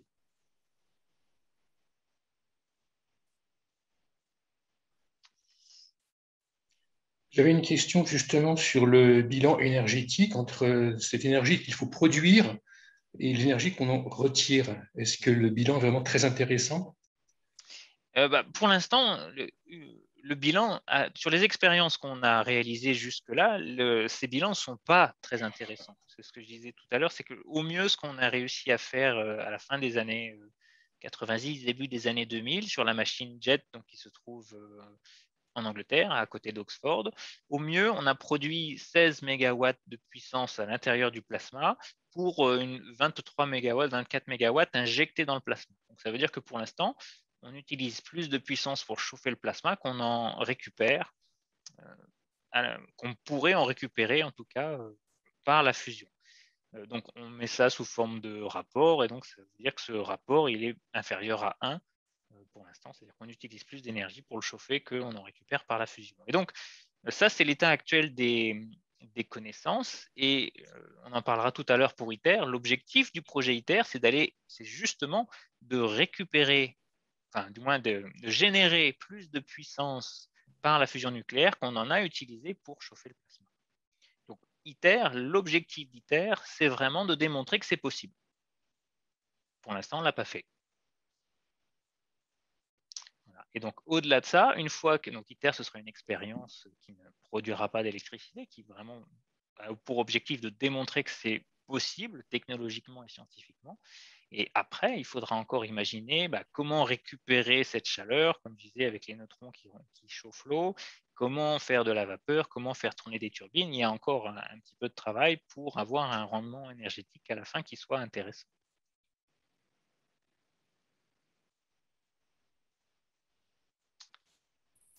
Oui, bonjour. Bonjour. Alors justement, que- quelles sont les, les pistes pour améliorer ce rendement? Bah, les pistes, oui. La- en fait, euh, donc, s'est dit tout à l'heure que pour avoir des, des réactions de fusion nucléaire, on- il fallait trois ingrédients. euh, la densité, c'est-à-dire le nombre d'ions dans le plasma, la température et puis le, le temps de confinement, c'est-à-dire la qualité avec laquelle on garde, on garde l'énergie, la chaleur à l'intérieur du plasma. Sur les deux premiers paramètres, en tout cas pour la technique euh, dont on parle, la technique des tokamaks, c'est-à-dire le nombre d'ions et la température, on est à peu près aux limites euh, du savoir-faire euh, technologique, euh. Donc, le seul paramètre sur lequel on peut jouer pour améliorer le rendement, créer plus de puissance fusion, c'est ce fameux temps de confinement, c'est-à-dire la manière dont on confine euh, le plasma. Et pour augmenter ce temps de confinement, ben, il y a plusieurs pistes. Euh, la piste la plus simple, c'est d'augmenter le volume du plasma, c'est-à-dire faire une machine qui est plus grosse. Alors euh, ça, ça peut se comprendre euh, en prenant une analogie. Si vous avez une cabane au fond du jardin, qui fait froid dehors et que vous chauffez votre cabane, si vous arrêtez le chauffage dans votre cabane au fond du jardin, qui fait froid dehors, il y a du vent, la, température de votre cabane va décroître assez rapidement.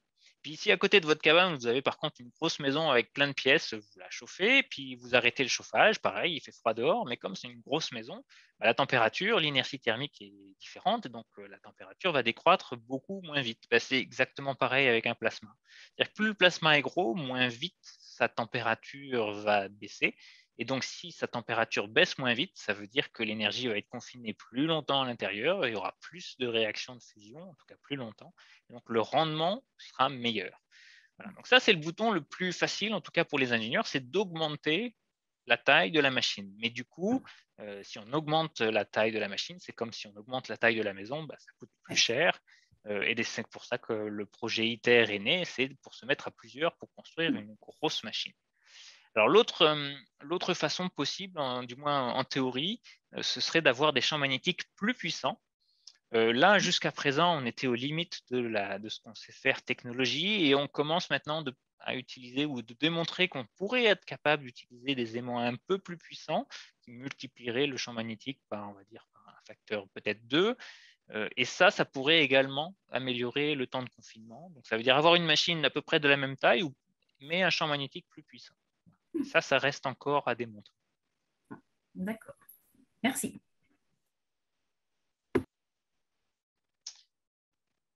Voilà, Je- sauf s'il y a d'autres questions, on peut passer à la suite. Donc, au projet ITER, justement. Donc, le projet ITER, donc, euh, si on vient à un peu d'histoire sur la genèse des, des tokamaks, donc les tokamaks, c'est un concept de machine qui provient euh, de l'URSS, en particulier de- des trois personnes euh, qui sont là. Euh, au début, à la fin des années, on a compris que ce, sont les, réactions de fusion nucléaire qui alimentaient les étoiles. Donc, au début, du siècle dernier, enfin, après, après, après la Seconde Guerre mondiale. Et donc, il y a eu beaucoup de recherches qui ont démarré à ce moment-là sur la fusion contrôlée pour, ben, pour créer de l'énergie. Les premières recherches en France ont commencé en 55. Et donc, dans les années 50, ce sont les Russes qui ont innové et qui ont proposé le concept de tokamak et qui, un peu à la surprise générale, ont, dans les années 60, ont montré qu'ils pouvaient avoir des performances en termes de plasma, hein, toujours ces trois facteurs, densité, température et temps de confinement, et notamment le temps de confinement à l'époque, ils ont montré des, euh, voilà, des, résultats, en tout cas, qui étaient beaucoup plus impressionnants que ce qui avait été obtenu jusqu'à Et donc, du coup, toute la communauté de recherche autour de la fusion a adopté ce concept de machine, ce concept de tokamak, euh, plus que les autres concepts possibles. Donc, euh, la genèse, rapidement, donc dans les années 70, euh, ben, en France, on a créé un tokamak à Fontenay-aux-Roses, TFR, tokamak des Fontenay-aux-Roses, justement. C'était l'époque des grosses machines européennes, donc euh, la machine Jet qui a démarré, en 83, euh, construit en 83, et puis ensuite Torsupra. Donc Torsupra a montré qu'on savait maîtriser ou que du moins fabriquer des bobines supraconductrices et faire des plasmas de longue durée. Jet, c'était plutôt des plasmas euh, de forte puissance, notamment avec du mélange deutérium-tritium, hein, une des premières, les premières expériences de vraie fusion nucléaire avec deutérium et tritium, et jusqu'à des plasmas en 2003 de plusieurs minutes sur l'installation Torsupra. Donc, si on regarde comment se sont déroulées les performances au cours du temps, euh, donc, euh, cette figure-là représente en bas la, température qu'on a obtenue. Alors, c'est euh, kiloélectronvolts, mais on va dire que c'est en, millions de, millions de degrés à peu près. Et puis, de l'autre côté, c'est le produit de la densité, température et ce fameux temps de confinement. Donc, on est parti de là. T3, c'est le, le premier tokamak russe, en tout cas, qui, a bien fonctionné. Et puis, au fil des années, les performances ont augmenté. Donc, la meilleure performance jusqu'à présent, euh, ce sont celles de Jet, donc une machine européenne, et celle de JT60, qui est une machine euh, japonaise. TFTR était une machine euh, américaine. Ce qu'on cherche à faire, c'est à partir bah, de à partir des connaissances qu'on a acquises sur toutes ces machines, l'étape d'après, c'est fabriquer une machine sur laquelle on produise plus d'énergie par les réactions de fusion on ait besoin d'en injecter à l'intérieur du plasma. donc cette machine-là, c'est ITER, ce serait, ce sera, ça devrait être la première machine euh, dans laquelle ces conditions arrivent. Donc entre les deux, rapidement, les performances entre 1969 et puis la, fin des années 90, euh, les performances ont été multipliées par un million, voire plus. Donc la prochaine étape, c'est ITER. Alors ITER, ce n'est pas quelque chose de très récent. Par, dès novembre 1985, euh, les présidents de l'URSS et des États-Unis, euh, au cours de, réunions internationales, ont cherché un projet sur lequel, euh, c'était la détente, un projet sur lequel on pouvait se mettre d'accord et collaborer, un projet autour du nucléaire. Il se trouve que ben, la fusion, aucun des deux pays tout seul dans son point d'arrivée était un peu bloqué en termes de performance. Et puis, on avait bien compris à l'époque que pour faire quelque chose de plus ambitieux, il fallait qu'il soit plus gros. En tout cas, c'était ce qu'on savait faire euh. Donc, dès 88, les premières études de conception pour un réacteur international ont débuté. Euh, en allant rapidement, puisque l'histoire d'ITER est assez compliquée, avec des partenaires qui arrivent, qui repartent, qui reviennent. Au final, donc, euh, c'est un projet qui est vraiment né de la politique. On parle de politique, du coup, euh, ce n'est pas uniquement scientifique, c'est politique. Donc, ça veut dire qu'il y a un certain nombre d'accords qui ont pris un certain nombre de temps pour être décidés, notamment où est-ce qu'on va construire ce fameux projet ITER. Il a encore fallu un certain nombre d'années avant qu'on puisse décider où construire ITER. Donc, au final, en juin 2005, les sept partenaires d'ITER ont choisi unanimement le site de Cadarache et le traité ITER a été signé en 2006 au Palais de l'Élysée. Et le chantier a débuté mi-2010. Donc ITER, c'est quoi? Bah, C'est une collaboration internationale entre sept partenaires, donc l'Union européenne et la Suisse, euh, la Chine, l'Inde, le Japon, la Russie, la Corée du Sud et les États-Unis. L'objectif d'ITER, c'est de démontrer la faisabilité scientifique et technique de la fusion à des fins énergétiques, c'est-à-dire mettre, réaliser des plasmas de deutérium, tritium avec la technologie d'aimants supraconducteurs et de faire des plasmas suffisamment performants pour créer plus de puissance de fusion dans ce plasma qu'on a besoin de puissance pour obtenir cette fusion-là. Et pour ça, je vous ai dit, un des moyens le plus simple, pas forcément le moins coûteux, mais en tout cas le plus simple, c'est de faire un réacteur qui est plus gros. Parce que du coup, il est, vous voyez ici la section transversale de, la machine, Torsupra, donc la machine, ou maintenant West, à peu près la même taille, la machine sur laquelle on travaille ici au CEA. Jet, derrière en jaune, la machine européenne, toujours la plus grande machine européenne, et JT, euh, JT60SA, qui est une machine en cours de construction, finalisation au Japon, qui est une machine euh, européano-japonaise. Et ITER, beaucoup plus grand, beaucoup, beaucoup plus grand. quand on dit beaucoup plus grand, c'est que vraiment c'est très grand, c'est une très très grande machine. Donc vous voyez ici la taille d'un homme par rapport à cette machine. Donc, on est plutôt, euh, plutôt dans l'ordre de la, la cathédrale. Donc ça représente quoi? Ça représente 23 000 tonnes. Alors en général, on met ça en, termes de tour Eiffel, je ne l'ai pas fait. Euh, combien de tours Eiffel? En tout cas, un volume de plasma beaucoup plus important. Par exemple, sur notre machine, on a une dizaine de mètres cubes de plasma. Là, on passe à 840 mètres cubes de plasma. Et l'objectif d'ITER, c'est de générer 500 mégawatts euh, de puissance fusion à l'intérieur du plasma en, en injectant uniquement 50 mégawatts pour arriver à ces 500 mégawatts. Donc ça veut dire que au niveau du plasma, je parle uniquement au niveau du plasma, on aurait un rendement entre guillemets d'un facteur 10. C'est comme un amplificateur d'énergie. Euh, on ajoute, on met 1 et on reçoit 10 au niveau du plasma. La durée des plasmas est prévue entre 400 à 1000 secondes et puis ben, on prévoit euh, la machine est en cours de construction, on va le voir, on prévoit que les premiers plasmas démarrent aux alentours de 2026-2027. Ça, ce sont des premiers plasmas, on va dire, deux, pour voir tout fonctionne. Euh, les travaux vont continuer encore un certain, nombre d'années et les vraies expériences euh, et tritium, avec les vraies expériences de fusion, ne débuteront pas avant 2035. Alors, le site euh, de Cadarache que vous voyez ici du ciel, donc le- la construction a commencé à partir, enfin, tout moins le, le site de Cadarache a été choisi donc, en 2005 et la construction a commencé en 2007. Donc, vous voyez là, ça c'était l'État en 2007. Euh, L'État en 2010, donc une grande plateforme pour accueillir euh, le site et puis la construction des différents bâtiments. Donc, euh, vous avez différentes, là c'était en 2015. Donc, nous, nous sommes ici dans le site du CEA, il y a une clôture entre le CEA et le site d'ITER.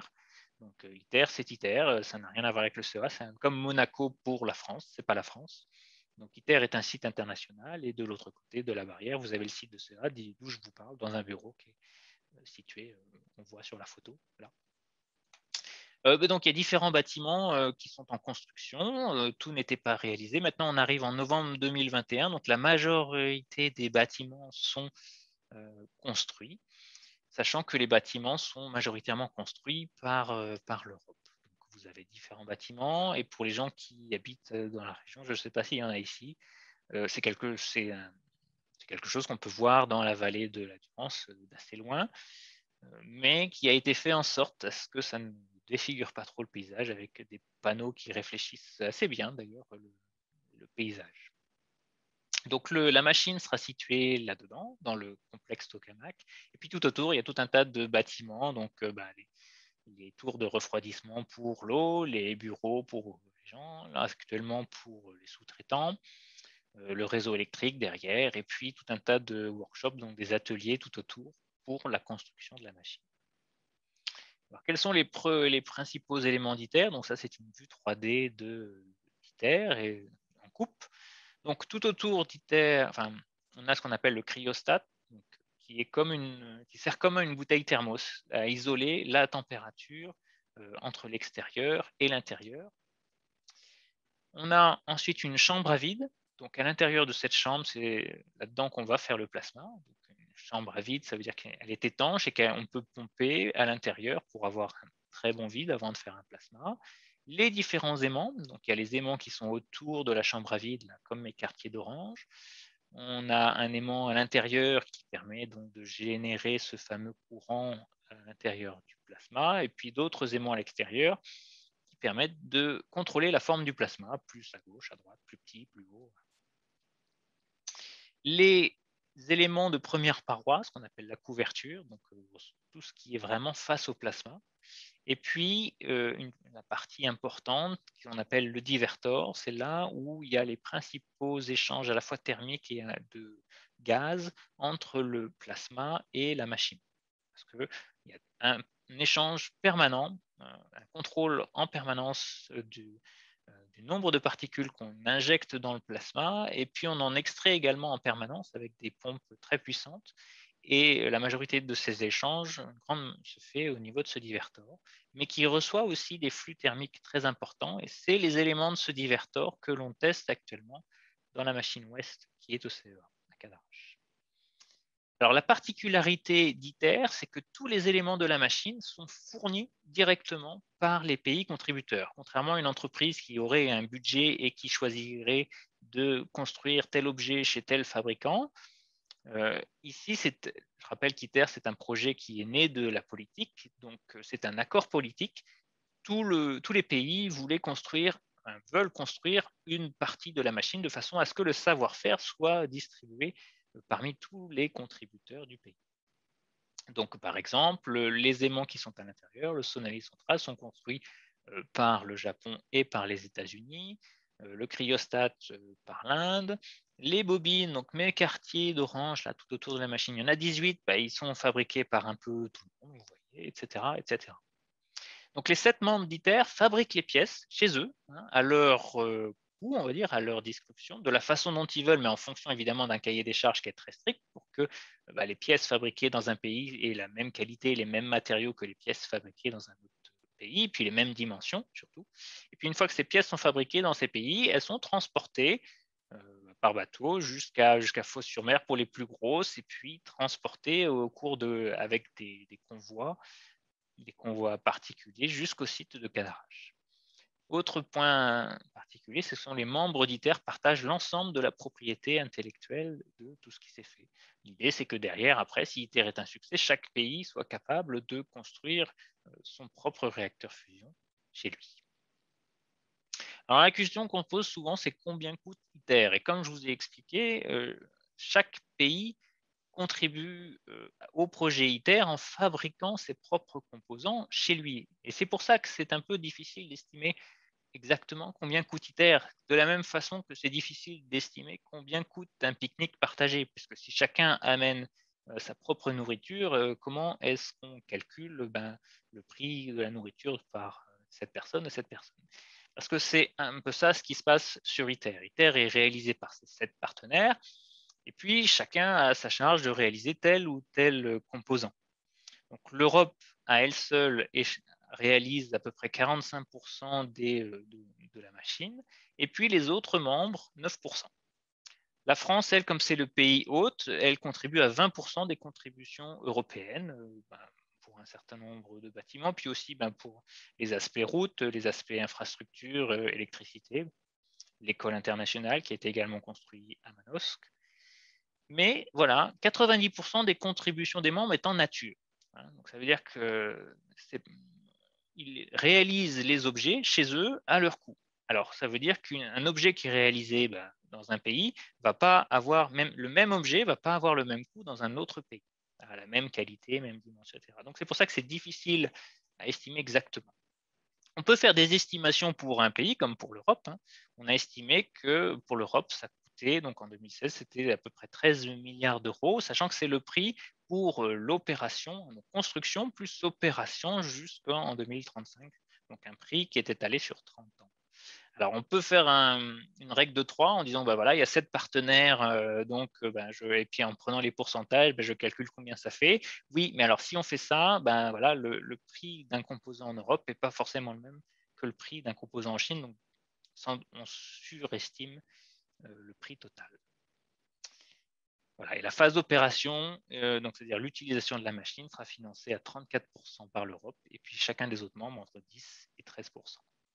Alors, est-ce que c'est cher? Est-ce que c'est pas cher? Voilà, Il y a beaucoup, toujours beaucoup de débats là, qui on ramène après, c'est assez relatif par rapport à quoi on parle. Selon vous, je n'ai pas fait de quiz cette fois, mais selon vous, quel est le plus cher parmi les, Jeux olympiques d'hiver de Sochi, la Coupe du Monde Qatar, le développement, euh, uniquement les développements du F-35 et du F-22, le programme Apollo, euh, le coût de l'ISS ou un gisement pétrolier euh, en cours de construction toujours, un gisement de Bon, juste pour information, rien que les Jeux olympiques d'hiver, c'était 51 milliards d'euros. Donc déjà beaucoup plus, hein, plus que le projet ITER, même dans ses estimations les plus, les, plus hautes. Alors après, bah, si on parle de la Coupe du Monde ou du développement, juste du développement, même pas de la fabrication, uniquement le développement d'un chasseur euh, haute performance, on voit qu'on n'est plus du tout euh, dans les mêmes. Alors est-ce que c'est cher et pas cher? Bon, Après, eh ben, Alors, qui travaille à ITER? Quels sont les métiers? Donc, euh, les métiers de la fusion et puis les formations qui sont disponibles. Donc, actuellement, qui travaille à ITER? Donc, ITER, c'est une organisation internationale et donc, ben, les, euh, grosso modo, les, les personnels ITER sont répartis à peu près en fonction du partage du, coût d'ITER. Donc euh, actuellement, on trouve beaucoup d'Européens à ITER et puis après, de façon à peu près, pas tout à fait équilibrée, mais, à peu près, euh, donc, euh, contributeurs US, RF, euh, coréens, japonais, indiens et chinois, donc, euh, qui travaillent effectivement à Cadarache et donc qui habitent autour de Cadarache. On voit. Donc actuellement, c'est à peu près 1000 personnels dans l'organisation internationale et beaucoup plus euh, de contracteurs, enfin, contracteurs plus travailleurs sur le chantier. Donc on a on estime entre 4, 4000, 4000, 5000 personnes qui travaillent en ce moment sur ITER. Et puis, bah, à mesure que le chantier va être fini, il y aura de moins en moins de travailleurs euh, sur les chantiers et il restera à peu près le personnel permanent de l'organisation internationale. Mais alors, quel métier? Alors, euh, vous avez vu que la fusion, pour maîtriser la fusion, il faut un certain nombre de technologies qui sont quand même relativement pointues. Euh, donc, je vais prendre l'exemple de WES, qui est une machine supraconductrice également, comme le sera ITER, et pour parler des différents métiers, des différentes personnes qu'on a chez nous, et donc pour faire une sorte d'extrapolation sur ce qu'on aura besoin pour ITER ou les futures machines de fusion. Donc la fusion nécessite de nombreuses compétences avec beaucoup d'interactions entre elles, donc ça va des techniciens, ingénieurs, chercheurs. Euh, on a besoin de toutes ces compétences, et encore peut-être qu'il en manque des mécaniciens, bien sûr, pour bah, concevoir, pour euh, faire les plans, mais après, pour vraiment assembler sur place, pour faire euh, les soudures. On manque souvent de, de soudeurs. L'électronique, évidemment, la conception des cartes, l'acquisition de données. L'électrotechnique, parce qu'on travaille avec des forts courants et des fortes tensions. Euh, les mesures physiques, parce qu'on cherche à mesurer, c'est une expérimentation, on cherche à mesurer les paramètres du plasma. Donc, ils font tout un tas d'instrumentations, de capteurs des automaticiens, des informaticiens, des spécialistes en réfrigération parce qu'il y a des boucles d'eau qui est pressurisée, des spécialistes en vide puisque on a besoin d'avoir un très bon vide dans la machine avant de pouvoir faire un plasma, de la cryogénie, donc les spécialistes des très basses températures, et puis de la physique pour comprendre après ce qui se passe.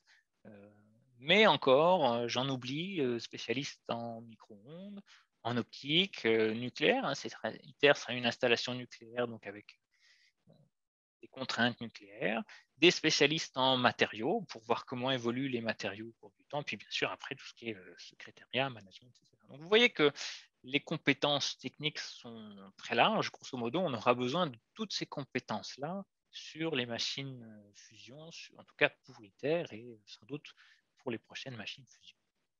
Alors, comment est-ce qu'on forme ça actuellement? Alors, évidemment, tout ce qui est technicien, euh, Bac plus 2, ben, après, il y a tout un tas de formations qui existent, hein, que ce soit pour la mécanique ou l'informatique. Après, pour la partie, on va dire, plus vraiment orientée sur euh, les, chercheurs, euh, donc il existe plusieurs masters sur la fusion en Europe. Il y en existe un en France qui regroupe euh, à la fois Paris, Nancy et Marseille pour euh, bah, apprendre, apprendre les, physique et les technologies de la fusion. Donc, ça représente à peu près 25 étudiants par promotion par an.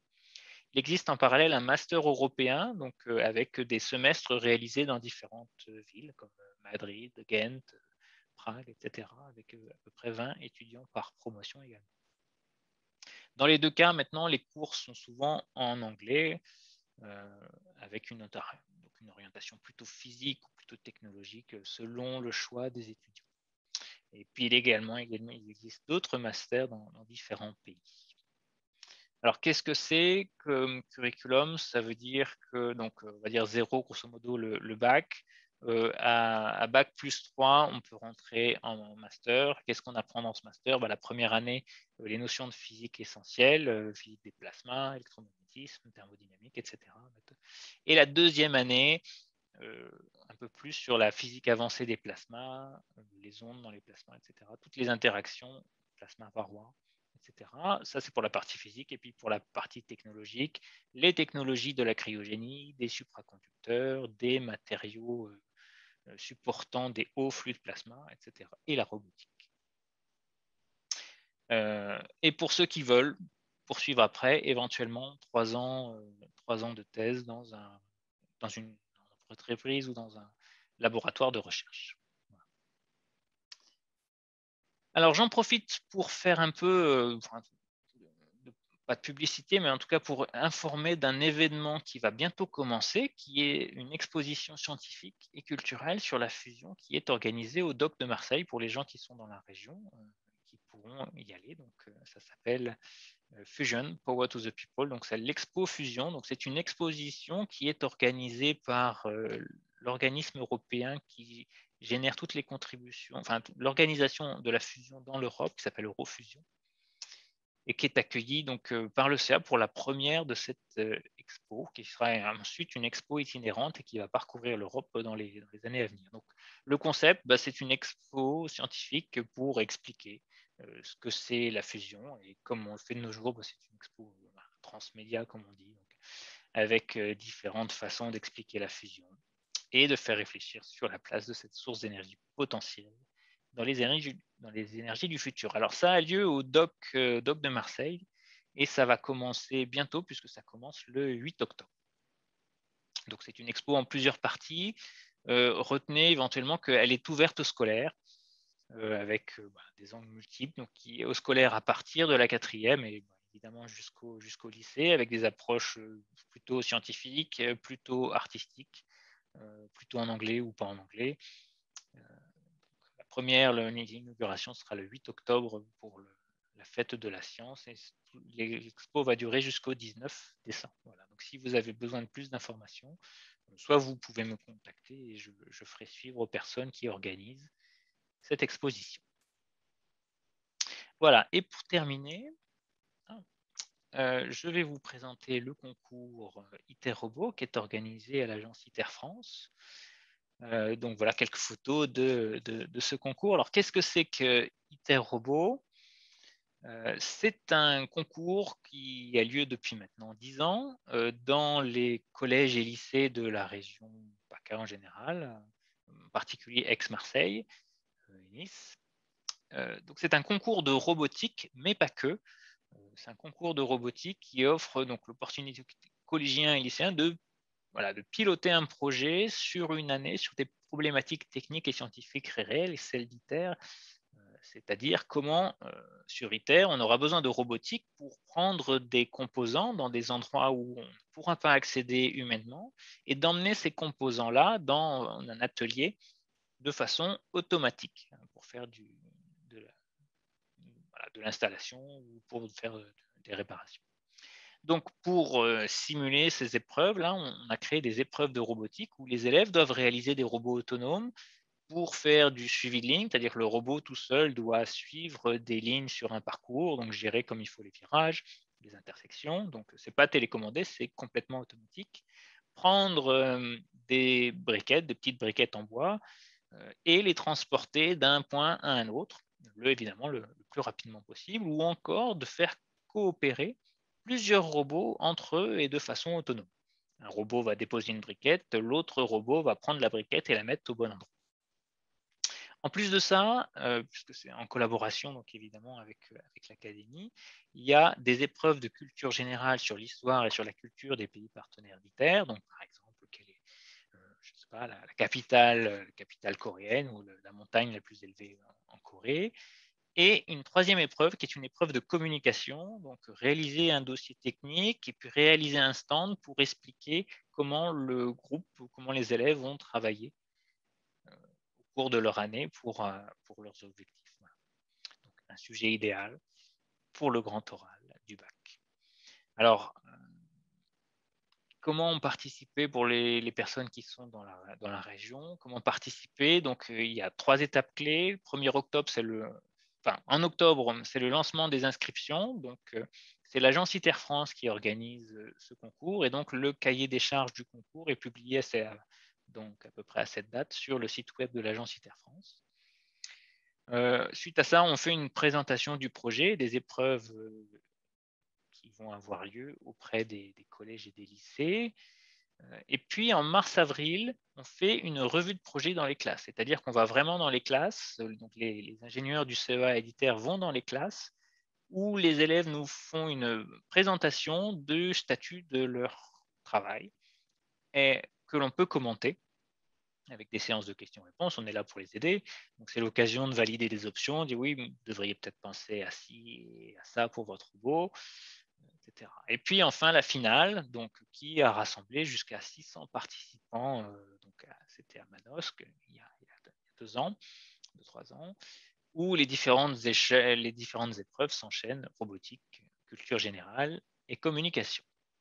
Pour vous donner un petit aperçu, euh, une petite vidéo rapide euh, de ce qui s'est passé l'année dernière.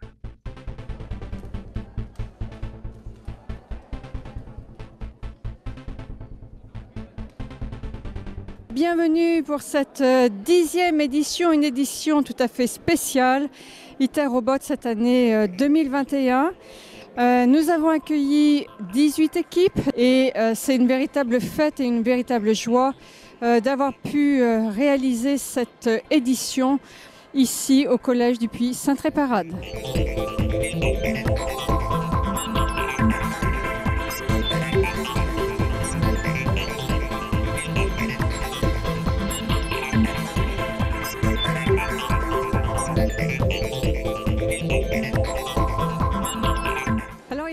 Ce sont des épreuves de robotique, les épreuves Waste, Transport, Pick and Place et Cooperate.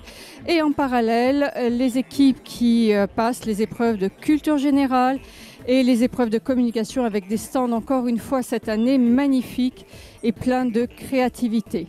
Pour la première fois, nous avons pu accueillir, euh, certes à distance et par visio, euh, la Polynésie avec un collège qui s'est euh, présenté aux épreuves d'IterRobot avec euh, beaucoup d'enthousiasme et une belle réussite.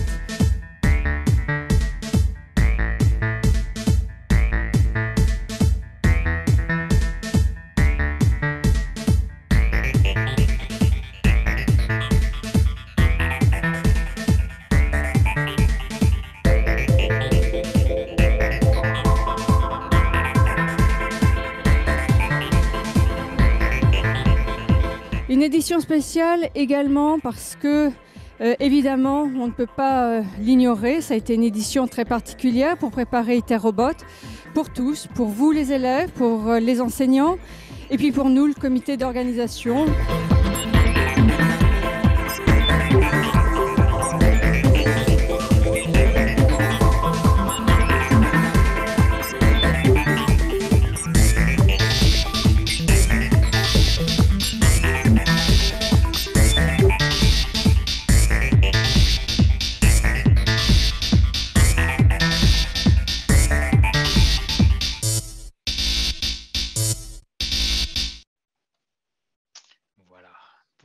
Fait cette année, enfin l'année scolaire dernière.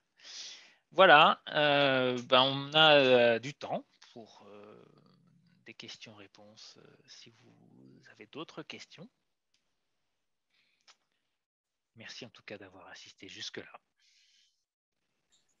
Merci beaucoup Julien, surtout. euh, Ah, bien. Merci beaucoup Julien pour toutes ces infos très très pédagogiques. Euh, moi, je vous recontacterai. Je travaille à la DT au DTN à Cadarache. Je vous recontacterai parce que j'ai une, idée, mais c'est c'est hors CEA, on va dire. Un peu comme les, les, les- d'ITER. Voilà. Euh, oui, moi, moi, juste un petit témoignage, peut-être. J'avais travaillé avec l'équipe qui était à l'époque à Fontenay, qui est maintenant sur le plateau de Saclay, qui avait développé le robot qui a fait l'inspection visuelle dans, dans l'enceinte de alors Torsupra à l'époque, j'imagine, Toujours même. et maintenant Ouest. Et donc, c'était, vrai- ouais, c'est vraiment des. Là aussi, la robotique, vous l'avez souligné tout à l'heure, vous l'avez mentionné, mais c'est un- une partie très importante puisque quand on ne peut pas rentrer ou plus rentrer, ben, on est bien content d'avoir des, des systèmes qui peuvent se déployer, puisque là, c'est un, bras qui se déploie sur euh, pas mal de mètres, avec une caméra au bout, je crois, simplement, hein, mais, mais avec donc, euh, qui, ne casse pas le, vide, hein, le, vide extrême, et puis qui, ne pollue pas le- l'environnement, et qui arrive donc à, récupérer de l'information euh, là- là-bas quelque part dans le tort. Voilà, moi je vais être obligé de vous quitter parce qu'il est midi et j'ai une famille qui rentre manger. mais bon, je, je peux encore rester quelques minutes. hein. Voilà, mais en tout cas, encore merci beaucoup euh, pour cette euh, excellente. euh, je ne sais pas si c'est une initiative, si c'est nouveau. Moi, pour moi, c'est nouveau. C'est la deuxième Et- année qu'on le fait. Euh, voilà, c'est la deuxième année. Et juste peut-être pour terminer, no- notre labo à Cadarache, on est un labo d'instrumentation et à partir de cette année, on travaille pour Eurofusion euh, à, à leur faire bénéficier, enfin oui, à, à mettre un peu sur la table et à développer des capteurs pour les circuits euh, métaux liquides. Hein, puisque donc euh, on n'a peut-être pas énormément parlé, mais si on veut récupérer de la chaleur, éventuellement faire euh, transmuter le lithium, euh, avec les neutrons, on aura besoin de métaux liquides, donc de capteurs de température, de débit, de, niveau, de pression, etc. Et donc on, on commence cette année. D'accord, très bien.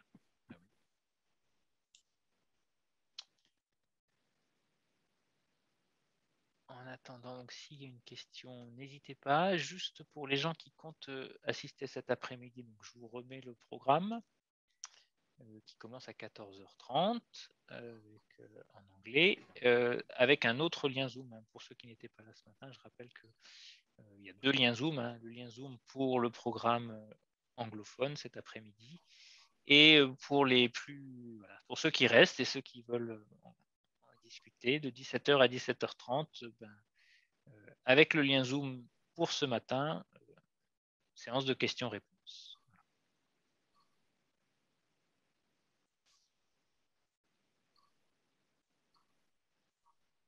Alors, bah, je vais reprendre la parole. Donc, c'est Marjolio.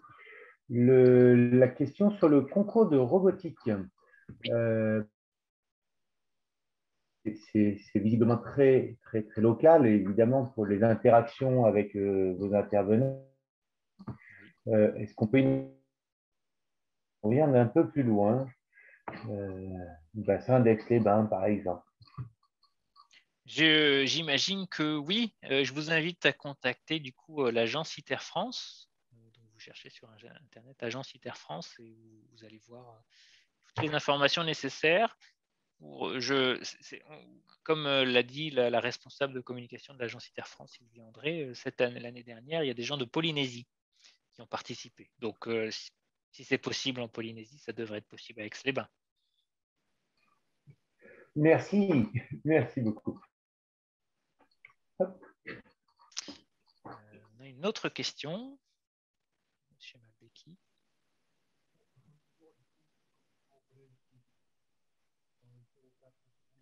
Oh, je vous entends très très très mal. J'ai un problème de micro. Ah voilà, là c'est mieux. Ouais, donc je suis. Oh, bah, c'est reparti. Ouais, non. Là je vous entends plus. Je vais. Oui, d'accord. Désolé.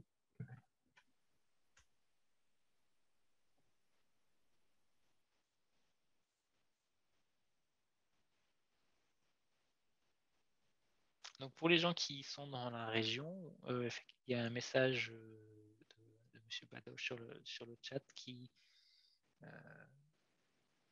donne la- l'adresse pour bénéficier d'une visite guidée animée par l'association Planète Science Méditerranée, qui assure également des, bah, visites guidées de l'installation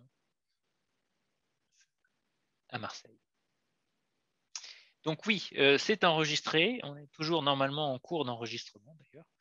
Euh, L'objectif, effectivement, c'est que évidemment, euh, on ne s'attendait pas à ce que les 60 personnes inscrites soient là aujourd'hui, hein, parce que ben, c'est, on est en pleine période scolaire. Donc oui, c'est enregistré et le lien avec les vidéos devrait être envoyé à tous les membres qui se sont enregistrés dans les, alors pas dans les jours à venir, mais dans les semaines à venir en tout cas. Donc, euh, ce qui sera enregistré, c'est bah, donc toute la présentation qui a été faite ce matin, et puis la présentation de cet après-midi sera également enregistrée.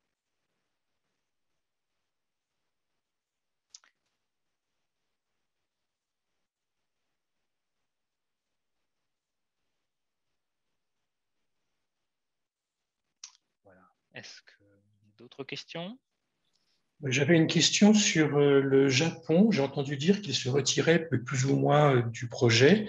Qu'est-ce qu'il en est? Est-ce qu'ils participent ou est-ce qu'ils font leur propre projet pour le développer chez eux? Non, non, il se... non, non, je ne sais pas d'où vient cette euh, info. Non, non, le, Non. le Japon participe à ITER D'accord.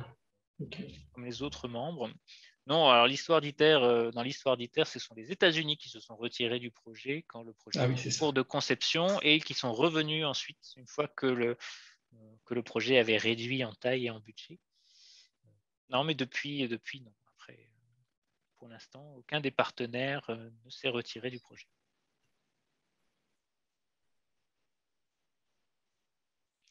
Et euh, juste, euh, d'autres partenaires ont par contre des programmes de recherche domestiques, plus ou moins agressifs, avec plus ou moins de budget. Actuellement, le, c'est la Chine qui, dans le monde, euh, fait le plus de recherches, en tout cas, sur euh, la fusion. Donc, ils ont même un projet, un projet euh, de, de réacteur fusion qui soit de la même taille d'ITER ou un peu plus grand, mais qui soit uniquement chinois et qui avance assez vite.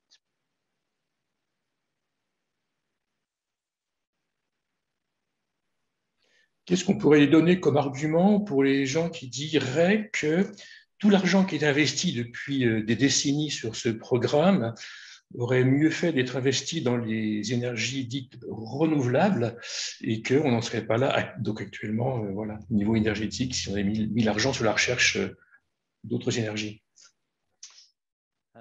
Oui. Euh, ben, disons qu'on peut entendre ça. Alors après, mettre d'argent, mettre, il y a déjà eu beaucoup, enfin, il y a eu- on parle de des centaines de milliards qui ont déjà été mis euh, dans ce qu'on appelle les énergies renouvelables. Euh, mais il reste que, même si on met plus d'argent dans les énergies re- renouvelables, il restera toujours un problème fondamental et qu'elles ne produisent de l'électricité que quand les conditions euh, sont opportunes. C'est-à-dire que pour le solaire, que quand il y a du soleil, et pour l'éolien, que quand il y a du vent. Et ça reste une problématique euh, qu'on voit en ce moment même à l'échelle européenne, où ben, euh, moins aujourd'hui, mais dans les semaines précédentes, il faisait très beau dans toute l'Europe, et il n'y avait pas de vent dans toute l'Europe. Euh, Et donc, on était obligé d'utiliser les centrales à charbon et les centrales à gaz à pleine puissance pour fournir l'électricité dans la plupart des pays européens. Donc, est-ce est-ce que c'est là qu'il faut mettre plus d'argent? Bah, Après, c'est un, grand débat, mais dans tous les cas, euh, la physique nous rattrape et on ne sait toujours pas stocker l'électricité, euh, en tout cas pas dans des quantités suffisantes pour alimenter un pays euh, plusieurs jours. Donc après, c'est effectivement, la, fusion nucléaire ne- n'est pas du tout la réponse actuelle au problème de réchauffement climatique. Euh, si quelqu'un vous dit le contraire, euh, ce n'est pas vrai.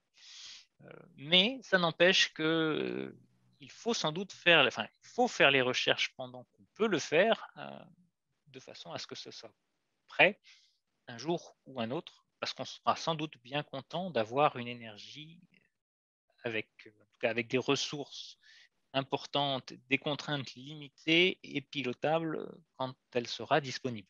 Alors quand elle sera disponible, c'est une très bonne question, dont je n'ai pas la réponse. Est-ce que c'est 2060, 70, 80 Je ne sais pas. C'est compliqué à définir. Euh, Ça dépend de si les, les recherches fonctionnent ou pas. Mais en tout cas, si elle arrive, on sera bien content de la voir.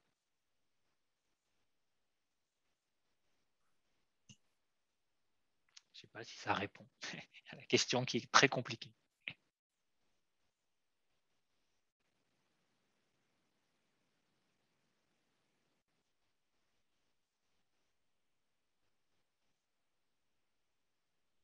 J'ai pas eu, euh, non, J'imagine. Je ne sais pas, j'ai pas entendu si vous aviez. Est-ce qu'il y a d'autres questions? N'hésitez pas. Sinon, euh, sinon, ça pourrait être cet après-midi à 17h pour les, les plus motivés.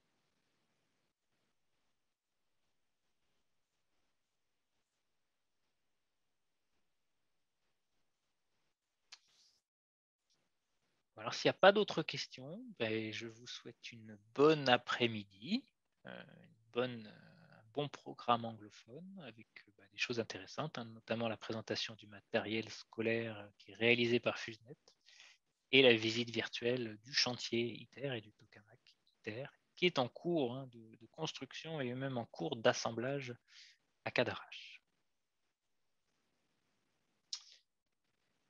Voilà, donc je vous souhaite une très bonne journée. Arrêter l'enregistrement. Bonne journée.